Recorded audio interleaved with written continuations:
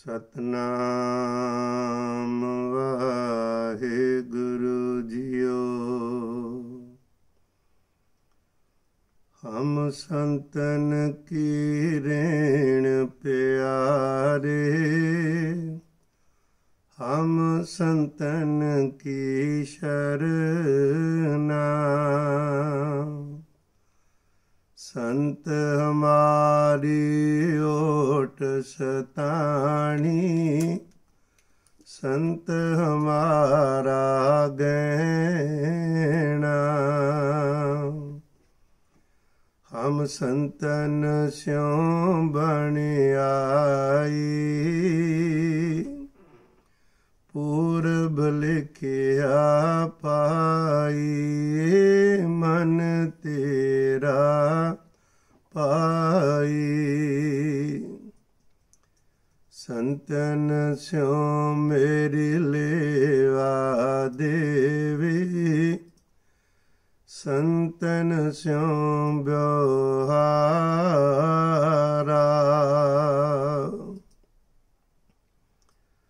ਸੰਤਨ ਸਿਉ ਹਮਲਾ ਕਾਟਿਆ ਹਰ ਭਗਤ ਪਰੇ ਪੰਡਾਰਾ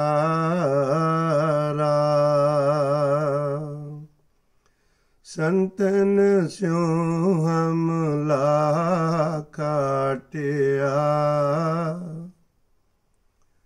ਲਾ ਕਾਟਿਆ ਹਰ ਭਗਤ ਪਰੇ ਪੰਡਾਰਾ ਸੰਤਨ ਮੋਕੋ ਪੂੰਜੀ ਸੌਂਪੀ ਤੋ ਤਰਿਆ ਮਨ ਕਾ ਤੋਕਾ ਧਰਮ ਰਾਏ ਅਬ ਕਾਂ ਕਰ ਗੋ।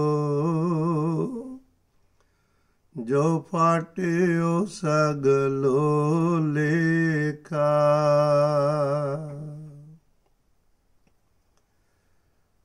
ਪਰਮ ਸਤਕਾਰਯੋਗ ਸਤਿਗੁਰੂ ਸਵਾਰੀ ਸਾਧ ਸੰਗਤ ਜੀਓ।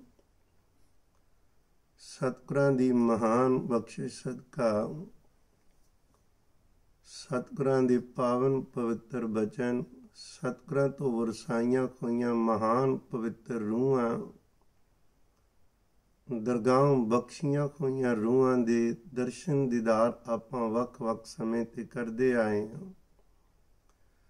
ਅਗਸਤ ਦਾ ਮਹੀਨੇ ਅੰਦਰ ਇੱਕ ਮਹਾਨ ਪਵਿੱਤਰ ਆਤਮਾ ਬ੍ਰਹਮ ਗਿਆਨੀ ਧੰਨ ਧੰਨ ਬਾਬਾ ਈਸ਼ਰ ਸਿੰਘ ਜੀ, ਰਾੜਾ ਸਾਹਿਬ ਵਾਲੇ ਮਹਾਨ ਪੁਰਖ। ਤਿਨਾਂ ਦੀ ਬਰਸੀ 26 ਅਗਸਤ ਨੂੰ ਹੋਣ ਕਾਰਨ ਆਪਾਂ ਇਸ ਦਿਨ ਤੇ ਉਹਨਾਂ ਦੀ ਕਾਲਨਾ ਉਹਨਾਂ ਦੀ ਕਮਾਈ, ਉਹਨਾਂ ਤੋਂ ਵਰਸਾਈ ਕੋਈ ਮਨੁੱਖਤਾ ਦੇ ਲੱਖਾਂ ਜੀਵ ਉਹਨਾਂ ਦੇ ਦਰਸ਼ਨ ਦੀਦਾਰ ਕਰਨ ਲਈ ਅੱਜ ਇਸ ਦੀਵਾਨ ਵਿੱਚ ਹਾਜ਼ਰੀ ਭਰਾਂਗੇ। ਗੁਰੂ ਬਖਸ਼ੀ ਫਤਿਹ ਬੁਲਾਓ ਤੇ ਅਦਬ ਨਾਲ ਆਖੋ ਜੀ, ਵਾਹਿਗੁਰੂ ਜੀ ਕਾ ਖਾਲਸਾ, ਵਾਹਿਗੁਰੂ ਜੀ ਕੀ ਫਤਿਹ। ਸਤਕਾਰਯੋਗ ਧੰਨ ਧੰਨ ਬਾਬਾ ਈਸ਼ਰ ਸਿੰਘ ਜੀ, ਰਾੜਾ ਸਾਹਿਬ ਵਾਲੇ ਤਿਨਾਂ ਦਾ 5 ਅਗਸਤ 1905 ਨੂੰ ਸਰਦਾਰ ਰਾਮ ਸਿੰਘ ਮਾਤਾ ਲਾਭ ਕੌਰ ਤੇ ਗ੍ਰਹਿ ਵਿਖੇ ਜਨਮ ਹੁੰਦਾ ਹੈ। ਮਾਪਿਆਂ ਨੇ ਨਾਮ ਗੁਲਾਬ ਸਿੰਘ ਰੱਖਿਆ ਸੀ। ਉਹਦਾ ਕਾਰਨ ਮਹਾਂਪੁਰਖਾਂ ਦੇ ਸਤਕਾਰਯੋਗ ਪਿਤਾ ਜੀ। ਉਹਦਾ ਸੁਭਾਅ ਸੀ ਭਈ ਕੋਈ ਵੀ ਮਹਾਂਪੁਰਖ ਸਾਧੂ ਸੰਤ ਆਵੇ, ਉਹਨਾਂ ਨੂੰ ਬੜੇ ਪਿਆਰ ਨਾਲ ਪ੍ਰਸ਼ਾਦਾ ਛਕਾਣਾ ਸੇਵਾ ਕਰਨੀ। ਵੈਸੇ ਵੀ ਤੁਸੀਂ ਦੇਖੋਗੇ ਸਾਡੇ ਪੁਰਾਣੇ ਬਜ਼ੁਰਗਾਂ ਦਾ ਇੱਕ ਸੁਭਾਅ ਰਿਹਾ ਹੈ। ਉਹਨਾਂ ਨੂੰ ਲੱਗਦਾ ਸੀ ਜਦੋਂ ਕੋਈ ਅਤਿਥੀ ਅਚਾਨਕ ਆ ਜਾਵੇ, ਲੰਘਦਾ ਟੱਪਦਾ ਰਾਖੀ, ਉਹਨੂੰ ਉਚੇਚਾ ਪ੍ਰਸ਼ਾਦ ਛਕਾਣਾ ਤੇ ਬੜਾ ਇਸ ਗੱਲ 'ਚ ਮਾਣ ਮਹਿਸੂਸ ਕੀਤਾ ਜਾਂਦਾ ਸੀ। ਚਾਹ ਹੁੰਦਾ ਸੀ। ਇਹ ਵੱਖਰੀ ਗੱਲ ਸਾਰਿਆਂ 'ਚ ਨਹੀਂ, ਕਦੇ ਇੱਕੋ ਜਿਹਾ ਗੁਣ ਆਂਦਾ ਪਰ ਬਹੁਤਾਤ ਅੰਦਰ। ਤੋ ਇਸ ਸਤਕਾਰਯੋਗ ਪਿਤਾ ਜੀ ਨੂੰ ਇਸ ਤਰ੍ਹਾਂ ਸੇਵਾ ਕਰਦਿਆਂ ਨਿਰੰਕਾਰ ਨੇ ਇੱਕ ਤਰ੍ਹਾਂ ਦਾ ਕਾਲਦਰਸ਼ੀ ਮਹਾਪੁਰਸ਼ ਦਾ ਮੇਲ ਕਰਾਇਆ। ਮਹਾਤਮਾ ਬਾਹਰ ਖੇਤਾਂ ਵਿੱਚ ਮਿਲੇ। ਇਹਨਾਂ ਨੇ ਜਲ ਪਾਣੀ ਲਿਆ ਕੇ ਛਕਾਇਆ। ਪ੍ਰਸੰਨ ਹੋ ਕੇ ਉਹਨਾਂ ਨੇ ਇੱਕ ਗੁਲਾਬ ਦਾ ਫੁੱਲ ਦਿੱਤਾ ਤੇ ਕਹਿਣ ਲੱਗੇ, ਲੈ ਸਰਦਾਰਾਂ, ਤੇਰੀ ਸੇਵਾ ਥਾਈ ਪਈ ਏ, ਤੁਹਾਡੇ ਕੋਲ ਨੰਬਰਦਾਰੀ ਤੇ ਹੈ ਪਿੰਡ ਦੀ। ਪਰ ਹੁਣ ਤੁਹਾਨੂੰ ਸੇ ਗੁਲਾਬ ਦਾ ਫੁੱਲ ਦਿੱਤਾ, ਇਹਨੂੰ ਘਰ ਸੰਭਾਲ ਕੇ ਰੱਖੀ। ਨਿਰੰਕਾਰ ਤੁਹਾਡੇ ਘਰ ਇੱਕ ਐਖੋ ਜਿਹਾ ਪੁੱਤ ਭੇਜੇਗਾ, ਜਿਵੇਂ ਗੁਲਾਬ ਦਾ ਫੁੱਲ ਖਿੜਿਆ ਰਹਿੰਦਾ ਤੇ ਖੁਸ਼ਬੂਦਾਰ ਏ ਉਸ ਦੀ ਮਹਿਕ ਸਾਰੇ ਸੰਸਾਰ ਵਿੱਚ ਫੈਲੇਗੀ। ਨਮਸਕਾਰ ਕੀਤੀ ਘਰ ਆਏ, ਘਰ ਵਾਲੀ ਨਾਲ ਗੱਲ ਕੀਤੀ, ਕਹਿਣ ਲੱਗੇ, ਤੁਹਾਨੂੰ ਮੰਗਣਾ ਵੀ ਨਹੀਂ ਆਇਆ।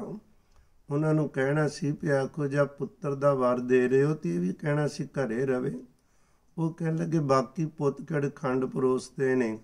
ਜੇ ਇੱਕ ਭਲਾ ਰੱਬ ਵੱਲ ਸਗੋਂ ਲੱਗਿਆ ਮਿਲ ਜਾਏਗਾ ਖੁਰਿਓ ਦੇ ਸਦਕਾ ਹੀ ਸਾਡਾ ਵੀ ਇੱਕ ਦੁਨੀਆ 'ਚ ਨਾ ਰਹਿ ਜਾਏਗਾ। ਖੈਰ, ਸਤਿਗੁਰੂ ਨਿਰੰਕਾਰ ਨੇ ਕਿਰਪਾ ਕੀਤੀ ਸੀ। 5 ਅਗਸਤ 1905 ਨੂੰ ਮੇਰੇ ਧੰਨ ਗੁਰੂ ਨਾਨਕ ਸਾਹਿਬ ਜੀ ਨੇ ਦਾਤ ਬਖਸ਼ੀ ਤੇ ਕਰਦਿਆਂ ਨੇ ਨਾਮ ਗੁਲਾਬ ਸਿੰਘ ਰੱਖਿਆ ਸੀ। ਮੈਂ ਪਹਿਲਾਂ ਹੀ ਬੇਨਤੀ ਕਰਦਿਆਂ 1905 5 ਅਗਸਤ ਨੂੰ ਜੀਵਨ ਯਾਤਰਾ ਸ਼ੁਰੂ ਕਰਦੇ ਨੇ ਮਹਾਂਪੁਰਖ ਤੇ 26 ਅਗਸਤ 1975 ਇੰਗਲੈਂਡ ਦੀ ਧਰਤੀ ਤੇ ਉਸ ਸਰੀਰ ਦਾ ਉਹ ਪਿਆਰਿਓ ਅੰਤ ਕਰ ਦੇਖਾ ਨੂੰ ਕਿਉਂਕਿ ਉਹ ਸ਼ਬਦ ਵਿੱਚ ਅਪੇਦ ਹੋਣ ਕਾਰਨ ਸਾਧੂ ਕਿਧਰੇ ਜਾਂਦੇ ਨਹੀਂ, ਉਹ ਸਦਾ ਹੀ ਇੱਥੇ ਸਾਡੇ ਕੋਲ ਵੀ ਨੇ ਤੇ ਨਿਰੰਕਾਰ ਤੇ ਘਰ ਬੇਗਮਪੁਰੇ ਚ ਵੀ ਨੇ। ਤੋ ਬੇਨਤੀ ਕਰ ਲੱਗਾ ਸਾਂ ਜਦੋਂ ਛੋਟੇ ਹੀ ਸਨ ਤੇ ਚਾਰ ਕੁ ਸਾਲਾਂ ਦੇ, ਇੱਥੇ ਇੱਕ ਮਹਾਂਪੁਰਖ ਨੇੜੇ ਹੋਏ ਸਨ, ਸੰਤੋਖ ਦਾਸ ਜੀ ਬੜੇ ਉੱਚੇ ਸਨ। ਉਹਨਾਂ ਕੋਲ ਜਾਣਾ ਤੇ ਚੌਂਕੜੀ ਮਾਰ ਕੇ ਵੱਡਿਆਂ ਦੀ ਤਰ੍ਹਾਂ ਬਹਿਣਾ। ਉਹ ਹੈਰਾਨ ਵੀ ਹੋਏ, ਫਿਰ ਅੰਦਰੋਂ ਵੇਖਿਆ ਤੇ ਬੜੀਆਂ ਅਸੀਸਾਂ ਦਿੱਤੀਆਂ। ਪਿਤਾ ਨੂੰ ਕਹਿਣਾ ਬੱਚਾ ਆਮ ਨਹੀਂ ਹੈ ਇਹ ਬੱਚੇ ਵਿੱਚ ਖਾਸ ਗੁਣ ਨਜ਼ਰ ਆ ਰਹੇ ਨੇ। ਪੜ੍ਹਾਈ ਪੜਾਉਂਦੇ ਸਨ, ਜਦੋਂ ਸਕੂਲ ਪਏ ਤੇ ਰੱਬ ਨੇ ਇੱਕ ਹੋਰ ਸਬਬ ਬਣਾਇਆ ਸੀ। ਇੱਕ ਸਾਧੂ ਟੀਐਲ ਵਾਸਵਾਨੀ, ਜਿਨ੍ਹਾਂ ਦਾ ਜ਼ਿਕਰ ਅਸੀਂ ਕਰਦੇ ਰਹਿੰਨੇ ਆ ਪੜ ਰਹੇ ਸੋ ਸਕੂਲਾਂ ਵਿੱਚ ਜਾ ਜਾ ਕੇ ਬੱਚਿਆਂ ਨੂੰ ਗੁਰਬਾਣੀ ਨਾਲ ਜੋੜਿਆ ਕਰਦੇ। ਉਹਨਾਂ ਸਾਰੇ ਬੱਚਿਆਂ ਨੂੰ ਕਹਿਣਾ ਵੀ ਘੱਟੋ ਘੱਟ ਕਿ ਜਪਜੀ ਸਾਹਿਬ ਦਾ ਪਾਠ ਤੁਸੀਂ ਜ਼ਰੂਰ ਕਰਿਆ ਕਰੋ। ਸ੍ਰੀ ਜਪਜੀ ਸਾਹਿਬ ਦਾ ਪਰ ਜਦੋਂ ਕਹਿਣਾ, ਬਹੁਤਿਆਂ ਨੇ ਪ੍ਰਣ ਕਰਨੇ, ਚਲੋ ਜੇ ਨਹੀਂ ਸਾਰਿਆਂ, ਬਹੁਤਾਤ ਵਿੱਚ ਬੱਚਿਆਂ ਦੇ ਅੰਦਰ ਗੱਲ ਬੈਠ ਜਾਂਦੀ ਸੀ। ਬਾਬਾ ਈਸ਼ਰ ਸਿੰਘ ਜੀ ਖੁਰਾਨੇ ਵੀ ਉਦੋਂ ਗੁਲਾਬ ਸਿੰਘ ਨਾਮ ਦੇ ਸਨ। ਉਹ ਗੱਲ ਪੱਲੇ ਬੰਨ ਲਈ ਸ਼ੁਰੂਆਤ ਹੋ ਗਈ। ਇੱਕ ਜਪਜੀ ਨਹੀਂ ਕਈ ਜਪਜੀ ਦੇ ਪਾਠ ਸ਼ੁਰੂ ਹੋ ਗਏ, ਰੰਗ ਲੱਗਦੇ ਗਏ, ਉਮਰ ਵੱਡੀ ਹੁੰਦੀ ਗਈ। ਸਤਿਗੁਰੂ ਸਬਬ ਬਣਾਉਂਦੇ ਰਹੇ। ਪਟਿਆਲਾ, ਖਾਸ ਕਰਕੇ ਬਾਬਾ ਅਤਰ ਸਿੰਘ ਜੀ ਰੇਰੂ ਸਾਹਿਬ ਵਾਲਿਆਂ ਦੇ ਤੋਂ ਬਹੁਤ ਪ੍ਰਭਾਵਿਤ ਸੀ। ਬਹੁਤ ਸਾਰੇ ਫੌਜੀ ਲਗਭਗ ਹੀ ਬਾਬਾ ਜੀ ਤੇ ਬੜੀ ਸ਼ਰਧਾ ਰੱਖਦੇ ਸਨ, ਉਹ ਵੀ ਆ ਕੇ ਕੀਰਤਨ ਕਰਿਆ ਕਰਦੇ। ਬਹੁਤ ਸੰਗਤਾਂ ਨੂੰ ਉਹਨਾਂ ਨੇ ਜੋੜਿਆ ਸੀ। 1922 ਦੇ ਗੱਲ ਕਹਿ ਪਿਆਰਿਓ, ਜਦੋਂ ਇਹ ਵੱਡੇ ਹੋ ਕੇ ਕਿਉਂਕਿ ਦਿਨੋਂ ਦਿਨ ਲਗਨ ਵੱਧਦੀ ਜਾ ਰਹੀ ਸੀ, ਦੀਵਾਨਾਂ ਚੋਂ ਕੋਈ ਨਾ ਕੋਈ ਮਹਾਪੁਰਖਾਂ ਦਾ ਮੇਲ ਖੁੰਦੇ ਰਹਿਣਾ। ਪਰ ਜਦੋਂ ਭਾਈ ਖੀਰਾ ਸਿੰਘ ਨਾਲ ਮਿਲ ਕੇ ਰੇਰੂ ਸਾਹਿਬ, ਬਾਬਾ ਅਤਰ ਸਿੰਘ ਰੇਰੂ ਸਾਹਿਬ ਵਾਲਿਆਂ ਦੇ ਦਰਸ਼ਨ ਕਰਨ ਗਏ, ਤਾਂ ਉਹਨਾਂ ਜਾਂਦਿਆਂ ਸਾਰੀ ਵੇਖ ਕੇ ਕਹਿਣ ਲੱਗੇ ਹੀਰਾ ਸਿਆਏ ਬੱਚੇ ਨੂੰ ਇੰਜ ਲੱਗੀ ਜਾਂਦਾ ਸੀ ਕਦੇ ਤੋਂ ਇਹਨੂੰ ਜਾਣਦੇ ਆ ਜਿਵੇਂ ਬੜੇ ਚਿਰ ਤੋਂ। ਬਾਬਾ ਈਸ਼ਰ ਸਿੰਘ ਜੀ ਕਹਿਣ ਲੱਗੇ, ਜੀ, ਅਸੀਂ ਤੇ ਪਹਿਲੀ ਵਾਰੀ ਆਏ ਆ ਪਹਿਲਾਂ ਕਦੇ ਮਿਲੇ ਨਹੀਂ। ਕੀ ਜਾਣਦੇ ਸਨ ਕਿ ਕਿਹੜੀ ਰਮਜ ਹੈ ਕਿਹੜਾ ਇਹਦੇ ਚ ਰਾਜ ਹੈ ਇਹ ਸਰੀਰ ਕਰਕੇ ਨਹੀਂ, ਪਤਾ ਨਹੀਂ ਇਸ ਆਤਮਾ ਨੂੰ ਕਿੰਨੇ ਚਿਰ ਤੋਂ ਕਮਾਈਆਂ ਕਰਨ ਤੇ ਲਾਇਆ ਹੋਇਆ ਸੀ। ਉਦੋਂ ਅੰਮ੍ਰਿਤ ਦੀ ਦਾਤ ਦਿੱਤੀ ਤੇ ਬਾਬਾ ਤਰ ਸਿੰਘ ਜੀ ਉਹਨਾਂ ਨੇ ਕਿਹਾ, ਮਾਪਿਆਂ ਨੇ ਨਾਮ ਰੱਖਿਆ ਸੀ ਗੁਲਾਬ ਸਿੰਘ, ਅਸੀਂ ਤੇਰਾ ਈਸ਼ਰ ਸਿੰਘ ਰੱਖਦੇ ਹਾਂ। ਅੰਮ੍ਰਿਤ ਦੀ ਦਾਤ ਤੈਨੂੰ ਮਿਲ ਗਈ ਏ। ਹੁਣ ਕਮਾਈ ਕਰੇਗਾ ਤੇ ਅਗਲੀਆਂ ਦਾਤਾਂ ਵੀ ਮਿਲਣਗੀਆਂ। ਜਦੋਂ 1922 ਵਿੱਚ ਪਟਿਆਲੇ ਦੀ ਸੰਗਤ ਆਈ ਬੈਠੇ ਸੀ, ਮੌਜ ਵਿੱਚ ਬਾਬਾ ਤਰ ਸਿੰਘ ਜੀ ਕਹਿਣ ਲੱਗੇ, ਭਾਈ, ਸਾਨੂੰ ਇੱਕ ਪਟਿਆਲੇ ਦੀ ਸੰਗਤ ਵੱਲੋਂ ਆਪਣੇ ਲਈ ਸੇਵਾਦਾਰ ਚਾਹੀਦਾ ਹੈ ਸੇਵਾਦਾਰ ਤਕੜਾ ਹੋਵੇ ਜਿਹੜਾ ਸੇਵਾ ਕਰ ਸਕਦਾ ਹੋਵੇ। ਜਦੋਂ ਹੁਕਮ ਸੁਣਿਆ ਸਾਰਿਆਂ ਨੇ ਤੇ ਸੁਭਾਵਕ ਹੀ ਬੰਦਾ ਸੋਚਦਾ ਹੀ ਹੈ ਵੀ ਪੂਰਨ ਮਹਾਪੁਰਖ ਦੀ ਸੰਗਤ ਕਰਨੀ ਚੰਗੀ ਇੱਕ ਪਾਸੇ, ਦੂਜੇ ਪਾਸੇ ਉਹਦੀ ਸੇਵਾ ਵਿੱਚ ਸੇਵਾਦਾਰ ਬਣ ਕੇ ਰਹਿਣਾ ਬੜੀ ਕਰੜੀ ਘਾਲਣਾ। ਹਰ ਕੋਈ ਇਹ ਸੇਵਾ ਕਰ ਨਹੀਂ ਸਕਦਾ। ਜਦੋਂ ਲੋਕਾਂ ਨੂੰ ਗਿਆਨ ਨਹੀਂ ਹੁੰਦਾ, ਉਹ ਸਾਧੂਆਂ ਦੇ ਨੇੜੇ ਨੇੜੇ ਢੁੱਕ ਕੇ ਬਹਿਣਗੇ। ਕਦੇ ਭਾਂਡੇ ਪਕੜਾ, ਕਦੇ ਉਹ ਕਰ ਉਦੋਂ ਉਹਨਾਂ ਨੂੰ ਪਤਾ ਨਹੀਂ ਹੁੰਦਾ ਕਿ ਇਹ ਕਮਾਈ ਵਾਲਾ ਕਿੰਨਾ ਕੁੱਚੀ ਕਮਾਈ ਹੈ ਤੇ ਮੈਨੂੰ ਕਿਵੇਂ ਵਿਚਰਨਾ ਚਾਹੀਦਾ ਜਿਉਂ-ਜਿਉਂ ਕਿਸੇ ਪੂਰਨ ਮਹਾਪੁਰਖ ਦੀ ਕਮਾਈ ਦੀ ਪਿਆਰਿਓ ਉਹ ਪ੍ਰਗਟਾਉਂਦਾ ਏ, ਪ੍ਰਗਟਾਉਂਦੇ ਤੋਂ ਦਿਖਾਉਂਦਾ ਨਹੀਂ। ਜਗਿਆਸੂ ਜਿਉਂ-ਜਿਉਂ ਸਰਾਹ ਤੇ ਤੁਰਦਾ ਏ, ਉਹਨੂੰ ਅੰਦਰਲੇ ਖੁਲਾਰੇ ਮਿਲਦੇ ਬਚਨਾਂ ਦਾ ਪਤਾ ਲੱਗਦਾ ਕਿਵੇਂ ਪੂਰੇ ਖੋ ਰਹੇ ਨੇ, ਹਰ ਕਿਸੇ ਦੀਆਂ ਦਿਲ ਦੀਆਂ ਜਾਣਦੇ ਨੇ, ਤਾਂ ਫੇਰ ਪਿਆਰੋ ਉਸ ਨੂੰ ਭੈ ਲੱਗਣ ਲੱਗ ਪੈਂਦਾ ਪਹਿਲਾਂ ਨਹੀਂ ਡਰ ਹੁੰਦਾ। ਇੱਕ ਚੇਤਾ ਰੱਖਣਾ ਧੰਨ ਗੁਰੂ ਗ੍ਰੰਥ ਸਾਹਿਬ ਪਾਤਸ਼ਾਹ ਮਹਾਰਾਜ ਜੀ ਤੋਂ ਵੀ ਪਹਿਲਾਂ ਕਿਸੇ ਨੂੰ ਡਰ ਨਹੀਂ ਹੁੰਦਾ। ਜਿਉਂ-ਜਿਉਂ ਕੋਈ ਗੁਰ ਸ਼ਬਦ ਦੀ ਕਮਾਈ ਕਰਦਾ, ਤਿਉਂ ਤੋਂ ਡਰ ਦਾ ਮਤਲਬ ਹੁੰਦਾ ਅਦਬ ਸਤਕਾਰ। ਸਤਿਗੁਰੂ ਦਾ ਅਦਬ ਸਤਕਾਰ ਖੋਏਗਾ ਅਮਨ ਅੰਦਰ। ਇੱਕ ਵਾਰੀ ਨਾ ਬਾਬਾ ਅਨੰਦ ਸਿੰਘ ਜੀ ਨਾਨਕਸਰ ਵਾਲਿਆਂ ਨੇ, ਬਾਬਾ ਈਸ਼ਰ ਸਿੰਘ ਜੀ ਨਾਨਕਸਰ ਵਾਲਿਆਂ ਨੂੰ ਕਿਹਾ ਸੀ, ਈਸ਼ਰ, ਤੁਸੀਂ ਅੱਜ ਚੌਰ ਸਾਹਿਬ ਦੀ ਸੇਵਾ ਕਰੋ। ਤੇ ਬਾਬਾ ਈਸ਼ਰ ਸਿੰਘ ਅਤ ਗਰੀਬੀ ਵਿੱਚ ਜਾ ਕੇ ਬੇਨਤੀ ਕੀਤੀ ਸੀ, ਬਾਬਾ ਜੀ, ਮੈਨੂੰ ਸਰਬ ਕਲਾ ਸਮਰੱਥ ਸਤਿਗੁਰਾਂ ਦੇ ਉੱਪਰ ਚੌਰ ਕਰਨਾ ਨਹੀਂ ਆਉਂਦਾ। ਮੈਨੂੰ ਚੌਰ ਕਰਨ ਦੀ ਜਾਚ ਸਿਖਾਓ। ਸਾਰੇ ਪ੍ਰੇਮੀ ਖਰਾਨ ਸਨੀ ਕਿਹੜਾ ਕੰਮ ਔਖਾ ਚੌਰ ਖਿਲਾਣਾ ਹੀ ਹੈ। ਪਰ ਜਿਨ੍ਹਾਂ ਨੇ ਕਿਹਾ ਤੇ ਜਿਨ੍ਹਾਂ ਨੂੰ ਮੰਨਣਾ ਏ, ਉਹਨਾਂ ਨੂੰ ਸਤਿਗੁਰੂ ਹਾਜ਼ਰ ਨਾਜ਼ਰ ਬੈਠੇ ਉਹਨਾਂ ਦੇ ਸਾਹਮਣੇ ਪ੍ਰਤੱਖ ਦਿਸ ਰਹੇ ਨੇ। ਉਹਨਾਂ ਨੂੰ ਪਤਾ ਹੈ ਸੀਸ ਤੋਂ ਕਿੰਨਾ ਉੱਚਾ ਰੱਖਣਾ ਹੈ ਕਿਵੇਂ ਕਿਵੇਂ ਉਹ ਸਾਰੀ ਕਲਾ ਵਰਤਣੀ ਹੈ ਭੈ ਹੁੰਦਾ ਮੇਰੇ ਕਹਿਣ ਤੋਂ ਮੁਰਾਦ ਤੋਂ ਜਦੋਂ ਬਾਬਾ ਅਤਰ ਸਿੰਘ ਜੀ ਰੇਰੂ ਸਾਹਿਬ ਵਾਲਿਆਂ ਦੀ, ਜਿੰਨੇ ਵੀ ਅੱਜ ਬਚਨ ਕਰਾਂਗੇ ਜਦੋਂ ਬਾਬਾ ਈਸ਼ਰ ਸਿੰਘ ਜੀ ਦਾ ਨਾਮ ਲਈਏ ਤੇ ਰਾੜਾ ਸਾਹਿਬ ਵਾਲਿਆਂ ਦੀ ਆਪਾਂ ਗੱਲ ਕਰਦੇ ਆਂ ਉੱਥੇ ਧਿਆਨ ਟਿਕਾ ਕੇ ਰੱਖਣਾ। ਜਦੋਂ ਹੁਣ ਸੇਵਾ ਲਈ ਕਿਹਾ ਤੇ ਸਾਰੇ ਚੁੱਪ ਸੀ, ਕਿਉਂਕਿ ਕਰੜੀ ਕਾਲਣਾ ਹਰ ਕੋਈ ਕਰ ਨਹੀਂ ਸਕਦਾ। ਬਹੁਤ ਮੁਸ਼ਕਲ ਏ। ਬਾਬਾ ਈਸ਼ਰ ਸਿੰਘ ਜੀ ਖੁਰਾ ਨੇ ਉਦੋਂ ਉੱਠ ਕੇ ਬੇਨਤੀ ਕੀਤੀ, ਜੀ, ਮੇਰਾ ਸਰੀਰ ਖਾ ਜਾ ਰੇ। ਬਾਬਾ ਤਰ ਸਿੰਘ ਰੇਰੂ ਸਾਹਿਬ ਵਾਲੇ ਵੇਖ ਕੇ ਉਹਨਾਂ ਨੂੰ ਅਕਸੀ ਸਤਕਾਰ ਨਾਲ ਪ੍ਰੇਮ ਵਾਲੇ ਵੱਡੇ ਮਹਾਰਾਜ ਜੀ ਜਾਂ ਵੱਡੇ ਸੰਤ ਜੀ ਕਹਿ ਕੇ ਆਪਣਾ ਪਿਆਰ ਦਾ ਪ੍ਰਗਟਾਵਾ ਕਰਦੇ ਨੇ। ਕਦੇ ਲਫ਼ਜ਼ਾਂ ਵੱਲ ਨਾ ਪਿਆ ਕਰੋ।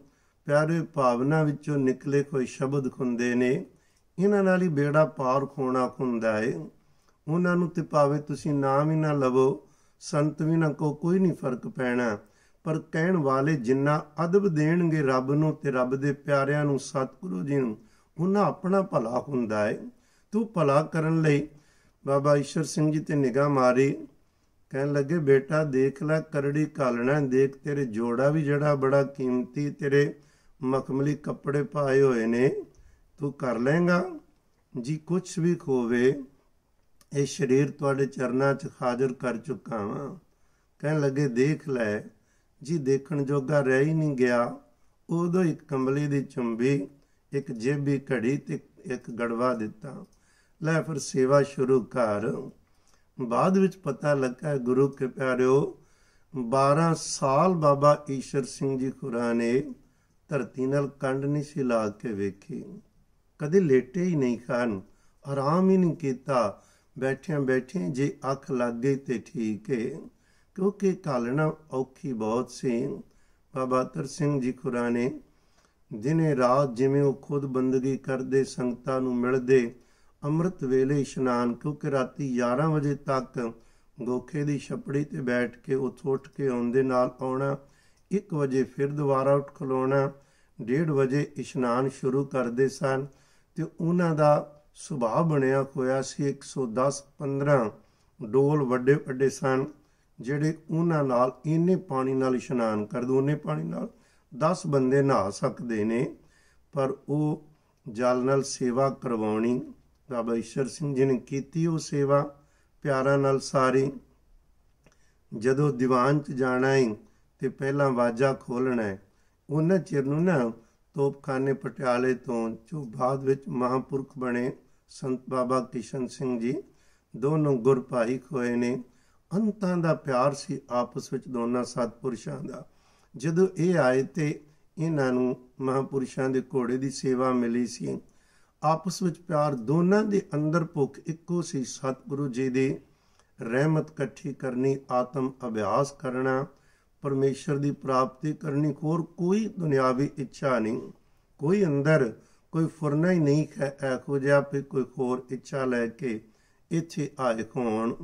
ਇਸ ਤੋਂ ਜਦੋਂ ਪਹਿਲਾਂ ਇੱਛਾ ਬਣਦੀ ਹੈ ਫੇਰ ਹੀ ਉਸ ਤੋਂ ਬਾਅਦ ਬੰਦਾ ਅੱਗੇ ਵੱਧਦਾ ਹੈ ਜਦੋਂ ਨਾ 1979 ਵਿੱਚ ਸੰਤ ਬਾਬਾ ਕਿਸ਼ਨ ਸਿੰਘ ਜੀ ਖੁਰਾ ਨੇ ਕੁਝ ਇੱਕ ਕਿਤਾਬ ਛਾਪੀ ਸੀ, ਈਸ਼ਰ ਅਮੋਲਕ ਬਚਨ ਲਾਲ। ਉਹਦੇ ਵਿੱਚ ਨਾ ਬਾਬਾ ਈਸ਼ਰ ਸਿੰਘ ਜੀ ਜਦੋਂ ਬੈਠਦੇ ਤੇ ਕੁਝ ਅੱਖਰ ਲਿਖਿਆ ਕਰਦੇ ਸਨ ਡਾਇਰੀ ਵਿੱਚ, ਜਗਿਆਸੂਆਂ ਲਈ ਕੋ ਉਪਦੇਸ਼, ਜ਼ਿੰਦਗੀ ਦੇ ਤਜਰਬੇ, ਤੋਂ ਉਹਨਾਂ ਨੇ ਪਹਿਲੀ ਵਾਰੀ 1979 ਵਿੱਚ ਉਹਨਾਂ ਦੇ ਚੋਲਾ ਬਦਲਣ ਤੋਂ ਬਾਅਦ ਉਹ ਛਾਪੀ ਸੀ। ਬਾਅਦ ਵਿੱਚ ਤੇ ਕਈ ਵਾਰ ਉਹ ਕਿਤਾਬ ਛਪੀ। ਉਹਦੇ ਵਿੱਚ ਬਾਬਾ ਈਸ਼ਰ ਸਿੰਘ ਜੀ ਕੋਲੇ ਜਗਿਆਸੂਆਂ ਲਈ ਜਿਹੜਾ ਉਪਦੇਸ਼ ਉਹਨਾਂ ਨੇ ਲਿਖੇ ਨਾ ਕੁਝ ਬਚਨ ਉਹਨਾਂ ਚ ਇਸ ਤਰ੍ਹਾਂ ਦੇ ਉਹਨਾਂ ਨੇ ਉਹ ਬਚਨ ਲਿਖੇ ਨੇ। ਉਹ ਕਹਿੰਦੇ, ਜਦੋਂ ਆਪਾਂ ਧਿਆਨ ਵਿੱਚ ਬੈਠਣਾ ਹੋਵੇ 12 ਸਕਿੰਟ ਜੇ ਧਿਆਨ ਜੁੜ ਜਾਵੇ ਤੇ ਉਹਨੂੰ ਇੱਕ ਅਸੀਂ ਧਿਆਨ ਕਹਿੰਦੇ ਆ ਤੇ ਜੇਕਰ ਅੱਧਾ ਘੰਟਾ ਧਿਆਨ ਜੁੜਿਆ ਰਵੇ ਤੇ ਉਹਨੂੰ ਇੱਕ ਸਮਾਧੀ ਕਹੀ ਕਿਹਾ ਜਾਂਦਾ ਹੈ। ਤੇ ਕਹਿੰਦੇ ਇਸ ਤਰ੍ਹਾਂ ਨਿੱਕੀਆਂ ਨਿੱਕੀਆਂ ਸਮਾਧੀਆਂ ਬਣਾ ਕੇ ਜੇ ਜਗਿਆਸੂ ਕੋਸ਼ਿਸ਼ ਕਰੇ, ਤੇ ਇੱਕ ਦਿਨ ਫਿਰ ਪੂਰਨ ਸਮਾਧੀ ਦਾ ਉਹ ਆਨੰਦ ਮਾਣ ਸਕਦਾ ਹੈ। ਉਹ ਬਹੁਤੀ ਵਾਰੀ ਨਾ ਹਰ ਚੀਜ਼ ਨੂੰ ਚਾਰ ਹਿੱਸਿਆਂ ਵਿੱਚ ਵੰਡਿਆ ਕਰਦੇ ਸਨ। ਚਾਰ ਹਿੱਸਿਆਂ ਵਿੱਚ ਵੀ ਚਾਰ ਪ੍ਰਕਾਰ ਦੇ ਭਗਤ ਨੇ ਕਨਿਸ਼ਟ ਭਗਤ ਨੇ, ਮੱਧਮ ਭਗਤ ਨੇ, ਉੱਤਮ ਭਗਤ ਨੇ, ਸ੍ਰੇਸ਼ਟ ਭਗਤ ਨੇ। ਕਨਿਸ਼ਟ ਭਗਤ ਦਾ ਮਤਲਬ ਉਹਨਾਂ ਨੇ ਲਿਖਿਆ ਹੈ ਵੀ ਤੁਸੀਂ ਨਾ ਸਿਮਰਨ ਕਰਨਾ ਸ਼ੁਰੂ ਕਰੋ। ਘਬਰਾਓ ਨਹੀਂ। ਕਹਿੰਦੇ ਜਿਹੜਾ ਕਨਿਸ਼ਟ ਭਗਤ, ਉਹਨੂੰ ਜਿਹੜਾ ਸਿਮਰਨ ਕਰਦਾ, ਪਾਠ ਕਰਦਾ, ਪਰ ਉਹਦਾ ਮਨ ਕਦੇ ਨਹੀਂ ਵਿੱਚ ਲੱਗਦਾ। ਤਾਂ ਉਹਨੂੰ ਘਬਰਾਣਾ ਨਹੀਂ ਚਾਹੀਦਾ, ਲੱਗਾ ਰਵੇ। ਉਸ ਤੋਂ ਬਾਅਦ ਮੱਧਮ ਭਗਤ ਹੁੰਦੇ ਹਨ ਜਿਨ੍ਹਾਂ ਦਾ ਕਦੇ-ਕਦੇ ਮਨ ਟਿਕ ਜਾਂਦਾ ਹੈ ਜੇ ਲਗਾਤਾਰ ਲੱਗੇ ਰਾਂਗੇ, ਤੇ ਅਗਲੇ ਉੱਤਮ ਭਗਤ ਹੁੰਦੇ ਨੇ ਕਿ ਜਿੰਨਾ ਚਿਰ ਬੈਠੇ ਨੇ ਉਹਨਾਂ ਚਿਰ ਉਹਨਾਂ ਦਾ ਮਨ ਬਿਲਕੁਲ ਖਰਾਬ ਨਹੀਂ ਕਰਦਾ, ਧਿਆਨ ਜੁੜਿਆ ਰਹਿੰਦਾ ਲੰਬਾ ਸਮਾਂ ਜੋੜ ਸਕਦੇ ਨੇ। ਤੇ ਸ੍ਰੇਸ਼ਟ ਭਗਤ ਉਹ ਹੁੰਦੇ ਨੇ ਜਿਹੜੇ ਆਪਣੇ ਆਪ ਨੂੰ ਇਹ ਵੇਖ ਲੈਂਦੇ ਕਿ ਮੇਰੇ ਅੰਦਰ ਪਰਮਾਤਮਾ ਬ੍ਰਹਮ ਆਪ ਬੈਠਾ ਹੈ। ਆਤਮ ਚਿੰਤਨ ਕਰਨਾ ਉਸ ਨੂੰ ਪ੍ਰਾਪਤ ਕਰਨ ਲਈ ਨਿਜ ਸਰੂਪ ਦਾ ਜਿਹੜੇ ਧਿਆਨ ਧਰਦੇ ਨੇ, ਪਰ ਉਹ ਇੱਕਦਮ ਨਹੀਂ ਆਦਮੀ ਉੱਥੇ ਪਹੁੰਚ ਜਾਂਦਾ। ਹਰ ਕੰਮ ਲਈ ਕਿਧਰੋਂ ਆਪਾਂ ਨੂੰ ਸ਼ੁਰੂ ਕਰਨਾ ਪੈਂਦਾ ਹੈ। ਬ੍ਰਹਮ ਗਿਆਨੀ ਕੋ ਇੱਕ ਦਿਨ ਤਾਂ ਨਹੀਂ ਨਾ ਬਣ ਜਾਂਦੇ। ਉਹਨਾਂ ਲਈ ਪਿਆਰਿਓ ਬਹੁਤ ਹੀ ਵਧੇਰੇ ਉਹਨਾਂ ਦੀ ਕਾਲਣਾ ਹੁੰਦੀ ਉਹਨਾਂ ਦਾ ਹੀ। ਇੱਕ ਬੱਚਾ ਨੇ ਉਹਦਾ ਟਾਈਟਲ ਹੈ ਸੰਤ ਫਕੀਰ ਮਹਾਂਪੁਰਸ਼। ਉਹ ਕਹਿੰਦੇ, ਦੱਦਾ ਆਖੇ ਦੂਰ ਬੜੀ ਮੰਜ਼ਲ ਫਕੀਰ ਦੀਏ।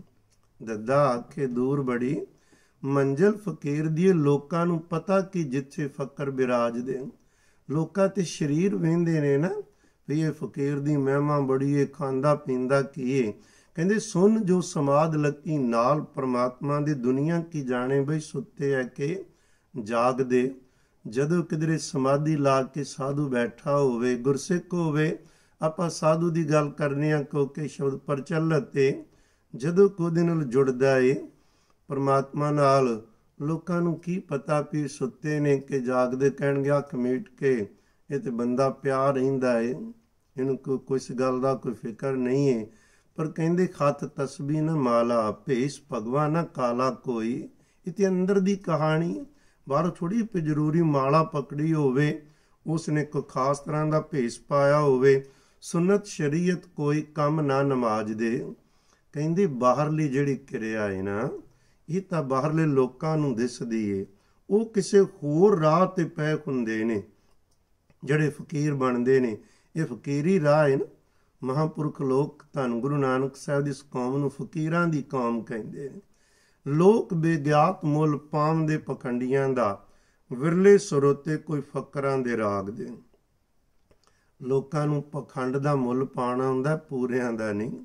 ਪੂਰਿਆਂ ਦਾ ਪਾ ਵੀ ਵਿਚਾਰੇ ਕਿਵੇਂ ਸਕਣ, ਕਿਉਂਕਿ ਸੋਝੀ ਨਹੀਂ। ਕੋਈ ਇੰਨੀ ਸੁਰਤੀ ਉੱਚੀ ਨਹੀਂ, ਉਹ ਵੇਖ ਸਕਣ। ਉਹ ਅੱਖ ਨਾ ਹੋਵੇ। ਤੇ ਗੱਲ ਕਰ ਰਹੇ ਸਾਂ ਕਿ ਜਦੋਂ ਸੇਵਾ ਵਿੱਚ ਲੱਗੇ ਨੇ ਤੇ ਹੁਕਮ ਸੀ ਪਿਖਾ ਰੋਜ਼ ਵਾਜਾ ਖੋਲਣਾ ਦੀਵਾਨ 'ਚ ਜਾ ਕੇ।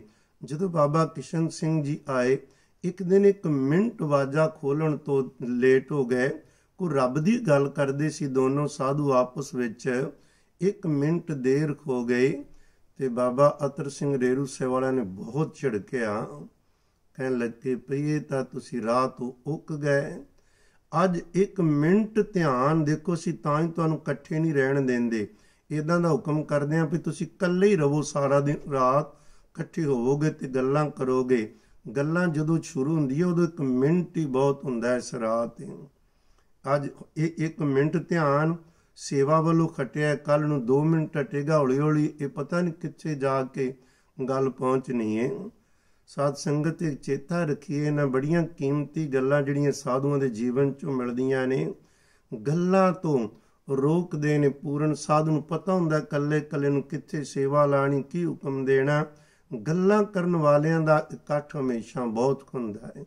ਪਰ ਜਿਹੜੇ ਸੱਚਮੁੱਚ ਉਹਨੂੰ ਧਿਆਉਣ ਤੇ ਧਿਆਉਣ ਵੀ ਅੱਠੇ ਪੈਰ ਧਿਆਨ ਕਰੇ, ਇਹ ਨਹੀਂ ਵੀ ਕਦੇ ਕਰ ਲਿਆ ਤੇ ਕਦੇ ਨਹੀਂ।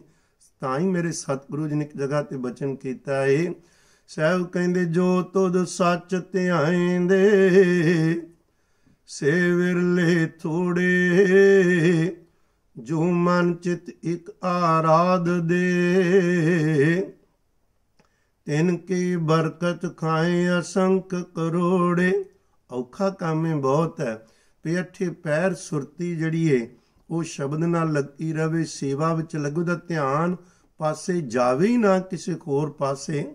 12 ਸਾਲ ਕੰਡ ਨਾ ਲਾਣੀ ਦਾ ਮਤਲਬ ਕੀ ਹੋਇਆ? ਇਹ ਤੇ ਨਹੀਂ ਉਹਨਾਂ ਨੂੰ ਕੋਈ ਨੀਂਦ ਨਹੀਂ ਸੀ ਚਾਹੀਦੀ, ਜਾਂ ਕੁਛ ਸਰੀਰ ਨਾਲ ਧੱਕਾ ਕਰ ਰਹੇ ਸਨ। ਉਧਰ ਪਿਆਰ ਹੀ ਇਹਨਾਂ ਤੇ ਖੇਚੇ ਪੇ ਕੋ ਮਿੰਟ ਸਕਿੰਟ ਅਜਾਈ ਨਾ ਚਲਾ ਜਾਵੇ। ਜਦੋਂ ਆਪਾਂ ਗੁਰਬਾਣੀ ਦੇ ਸ਼ਬਦ ਸੁਣਦੇ ਆ ਤੇ ਪਿਆਰਿਓ ਕਾਂਬਾ ਛਿੜਦਾ ਹੈ। ਗੁਰਬਾਣੀ ਵਿੱਚ ਆਉਂਦਾ ਹੈ, ਅਸੀਂ ਬੜੇ ਪਿਆਰ ਨਾਲ ਗਾ ਗਾ ਕੇ ਪੜ੍ਹਦੇ ਆ ਦਮ ਦਮ ਸਦਾ ਸੰਭਾਲਦਾ ਦਮ ਨ ਬਿਰਚਾ ਜਾਏ। ਜੋ ਦਮ ਚੇਤਨ ਆਵਈ, ਮਤਲਬ ਸੀ ਕਿ ਵੀ ਇੱਕ ਦਮ ਵੀ ਜੇ ਇੱਕ ਸਾਹ ਵੀ, ਇੱਕ ਸਵਾਸ ਵੀ ਉਹ ਭੁੱਲਿਆ ਹੈ ਨਾ, ਤੇ ਲੇਖਾ ਦੇਣਾ ਪੈਣਾ ਹੈ ਇਹ ਹੁਣ ਸਾਥੋਂ ਗੱਲਾਂ ਕਿੱਥੇ ਮੰਨੀਆਂ ਜਾ ਰਹੀਆਂ ਨੇ? ਸਾਡੇ ਤੇ ਘੰਟਿਆਂ ਦੇ ਘੰਟੇ, ਮਹੀਨਿਆਂ ਦੇ ਮਹੀਨੇ ਲੰਘ ਜਾਂਦੇ। ਉਹਦੀ ਯਾਦ ਤੋਂ ਬਗੈਰ ਕੋਈ ਫਿਕਰ ਨਹੀਂ ਹੈ ਸਵੇਰ ਸ਼ਾਮ ਉਹਨਾਂ ਦੀ ਕਿਰਪਾ ਨਾਲ ਥੋੜਾ ਬਹੁਤਾ ਨਿਤਨੇਮ ਕਰਵਾ ਲਿਆ ਤੇ ਕਾਫੀ ਸਮਝਦਿਆਂ, ਨਹੀਂ, ਸਾਹਿਬ ਕਹਿੰਦੇ ਨੇ ਜੇਕਰ ਇਹ ਪਹਿਰਾ ਦੇ ਲੈ ਨਾ ਕੋਈ ਮਨ ਵਿੱਚ ਵੀ ਉਹ ਤੇ ਚਿੱਤ ਵਿੱਚ ਵੀ ਉਹ ਹੀ ਰਵੇ ਤੇ ਫਿਰ ਇਹਨੂੰ ਫਲ ਕਿੱਡਾ ਵੱਡਾ ਦੱਸਿਆ ਨੇ, ਐਖੋ ਜੀ ਕਮਾਈ ਵਾਲਿਆਂ ਦੀ ਅਸੰਖਾ ਕਰੋੜੇ ਕਰੋੜਾਂ ਲੋਕ ਕਮਾਈ ਖਾਂਦੇ ਨੇ। ਉਹਨਾਂ ਦੇ ਜੀਵਨ ਤੋਂ ਪ੍ਰਭਾਵਿਤ ਹੋ ਕੇ ਅਸੰਖਾ ਕਰੋੜਾਂ ਲੋਕ ਨਾਮ ਜਪਣ ਲੱਗ ਪਏ ਪੈੜੀ ਸੰਗਤ ਛੱਡੀ ਸੱਚ ਤੇ ਰਾਹ ਦੇ ਤੁਰ ਪੈਂਦੇ ਨੇ। ਬਰਕਤਾਂ ਵੀ ਓਡੀਆਂ ਵੱਡੀਆਂ ਨੇ, ਪਰ ਸਭ ਕਹਿੰਦੇ ਵਿਰਲੇ ਹੁੰਦੇ ਤੇ ਥੋੜੇ ਹੁੰਦੇ ਨੇ। ਐ ਖੋਜੇ ਬਹੁਤਾਤ ਵਿੱਚ ਨਹੀਂ ਹੁੰਦੇ ਐ ਖੋਜੇ ਜਿਹੜੇ ਪ੍ਰੇਮ ਕਰਨ ਮਹਾਰਾਜ ਜੀ ਦੇ ਸ਼ਬਦ ਨੂੰ। ਤੁਧ ਨੂੰ ਸਭ ਧਿਆਇਂਦੀ ਸੇ ਥਾਏ ਪਏ ਜੋ ਸਾਹਿਬ ਲੋੜੇ।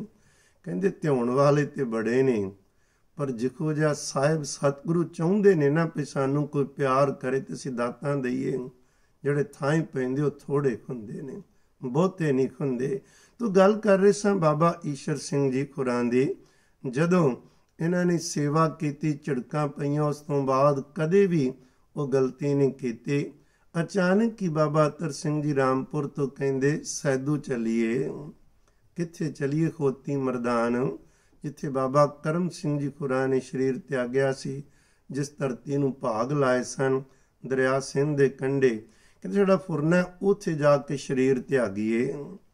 ਗਏ ਉੱਥੇ, ਸਮਾਧੀ ਲਾਣੀ ਕਈ ਕਈ ਘੰਟੇ ਇੱਕ ਵੱਖਰਾ ਹੀ ਰੰਗ ਸੀ ਤੇ ਇੱਕ ਦਿਨ ਕਿਸੇ ਸਿੰਘ ਨੂੰ ਕਹਿ ਕੇ ਨਾ ਕਫਣੀਆਂ ਸਵਾਈਆਂ ਜਿਸ ਦੀਆਂ ਭਾਵ ਜਿਸ ਤਰ੍ਹਾਂ ਆਪਾਂ ਕਮੀਜ਼ ਪਾਣੀ ਇਸ ਤਰ੍ਹਾਂ ਦੀਆਂ ਨਹੀਂ, ਇਹ ਕੇਵਲ ਕਪੜਾ ਸਾਦਾ ਜਿਹਾ, ਸਾਹਮਣੇ ਕੇਵਲ ਬਟਨ ਖੋਣ ਬਾਹਾਂ ਲੰਬੀਆਂ ਨਹੀਂ, ਛੋਟੀਆਂ ਖੋਣ ਤਾਂ ਕਿ ਸੇਵਾ ਵਿੱਚ ਬਹੁਤਾ ਲੱਗਿਆ ਕਪੜਾ ਵਿਚਕਾਰ ਰੁਕਾਵਟ ਨਾ ਪਵੇ। ਕਫਣੀ ਬਣਾਈ ਤੇ ਅਰਦਾਸ ਕੀਤੀ ਸਾਨੇ ਧੰਨ ਗੁਰੂ ਨਾਨਕ ਸਾਹਿਬ ਦੇ ਚਰਨਾਂ ਅੰਦਰ ਕਲਗੀਆਂ ਵਾਲੇ ਦੇ ਚਰਨਾਂ ਅੰਦਰ ਤੇ ਬਾਬਾ ਕਰਮ ਸਿੰਘ ਜੀ ਦੇ ਚਰਨਾਂ 'ਚ। ਕਹਿਣ ਲੱਗੇ, ਹੇ ਸਤਿਗੁਰੂ, ਤੇ ਨਾਲ ਬਾਬਾ ਕਰਮ ਸਿੰਘ ਖੁਰਾ ਨੂੰ ਬੇਨਤੀ ਕੀਤੀ ਜੀ, ਤੁਹਾਡੇ ਅਸਥਾਨ ਤੋਂ ਤੁਹਾਡੀਆਂ ਬਖਸ਼ਾਂ ਦੀ ਕਫਨੀ ਅਸੀਂ ਬਾਬਾ ਈਸ਼ਰ ਸਿੰਘ ਜੀ ਵੱਲ ਇਸ਼ਾਰਾ ਕੀਤਾ, ਇਹਨਾਂ ਦੇ ਗਲ ਪਵਾ ਰਹੇ ਆ ਹੁਣ ਇਸ ਕਫਨੀ ਦੀ ਲਾਜ ਤੁਸੀਂ ਆਪ ਰੱਖਣੀ। ਅਰਦਾਸ ਕੀਤੀ ਸਾਹਮਣੇ। ਜਦੋਂ ਉਹ ਖਫਣੀ ਜੀ ਪਵਾਈ ਬਾਬਾ ਈਸ਼ਰ ਸਿੰਘ ਜੀ ਨੂੰ ਆਪ ਤੇ ਉਹਨਾਂ ਨੇ ਨਮਸਕਾਰ ਕੀਤੇ ਤੇ ਨਾਲ ਹੀ ਬਾਬਾ ਤਰ ਸਿੰਘ ਨੇ ਬਚਨ ਕੀਤਾ ਸੀ ਲੈ ਪਈ ਸਜਣਾ, ਅਸੀਂ ਖਫਣੀ ਤੈਨੂੰ ਪਵਾ ਦਿੱਤੀ ਹੈ। ਹੁਣ ਅੱਗੋ ਤੇਰੇ ਕਰਮ ਜਿਵੇਂ ਕਮਾਈ ਕਰੇਗਾ, ਅਸੀਂ ਤੇਰੇ ਤੋਂ ਬਹੁਤ ਕੁਝ ਕਰਵਾ, ਕਮਾਈਆਂ ਕਰਵਾਈਆਂ ਨੇ। ਹੁਣ ਜਾ ਸਾਡੀ ਅਸ਼ੀਰਵਾਦ ਦੇ ਸੰਸਾਰ ਦਾ ਤੇਰੇ ਚਰਨਾਂ 'ਚ ਸਿਰ ਝੁਕੇਗਾ। ਪਰ ਤੈਨੂੰ ਕਿਸੇ ਅੱਗੇ ਝੁਕਣਾ ਨਹੀਂ ਪਵੇਗਾ। ਜਿਹੜੇ ਪੂਰੇ ਹੁੰਦੇ ਨੇ, ਇਹਨਾਂ ਨਾਲ ਸਾਰੇ ਸਾਧੂਆਂ ਦਾ ਇੱਕ ਬਚਨ ਹੁੰਦਾ ਹੈ ਵੀ ਮੰਗਣਾ ਨਹੀਂ ਕਿਸੇ ਤੋਂ। ਜਿਹੜਾ ਮੰਗਦਾ ਏ, ਉਹ ਤੇ ਅਜੇ ਖਾਸ ਲੈ ਕੇ ਬੈਠਾ ਏ। ਮੰਗੋ ਇੱਕ ਪਰਮਾਤਮਾ ਤੋਂ। ਮੰਗਣ ਦੀ ਲੋੜ ਨਹੀਂ, ਕੇਵਲ ਧਿਆਉਣ ਦੀ ਲੋੜ ਏ।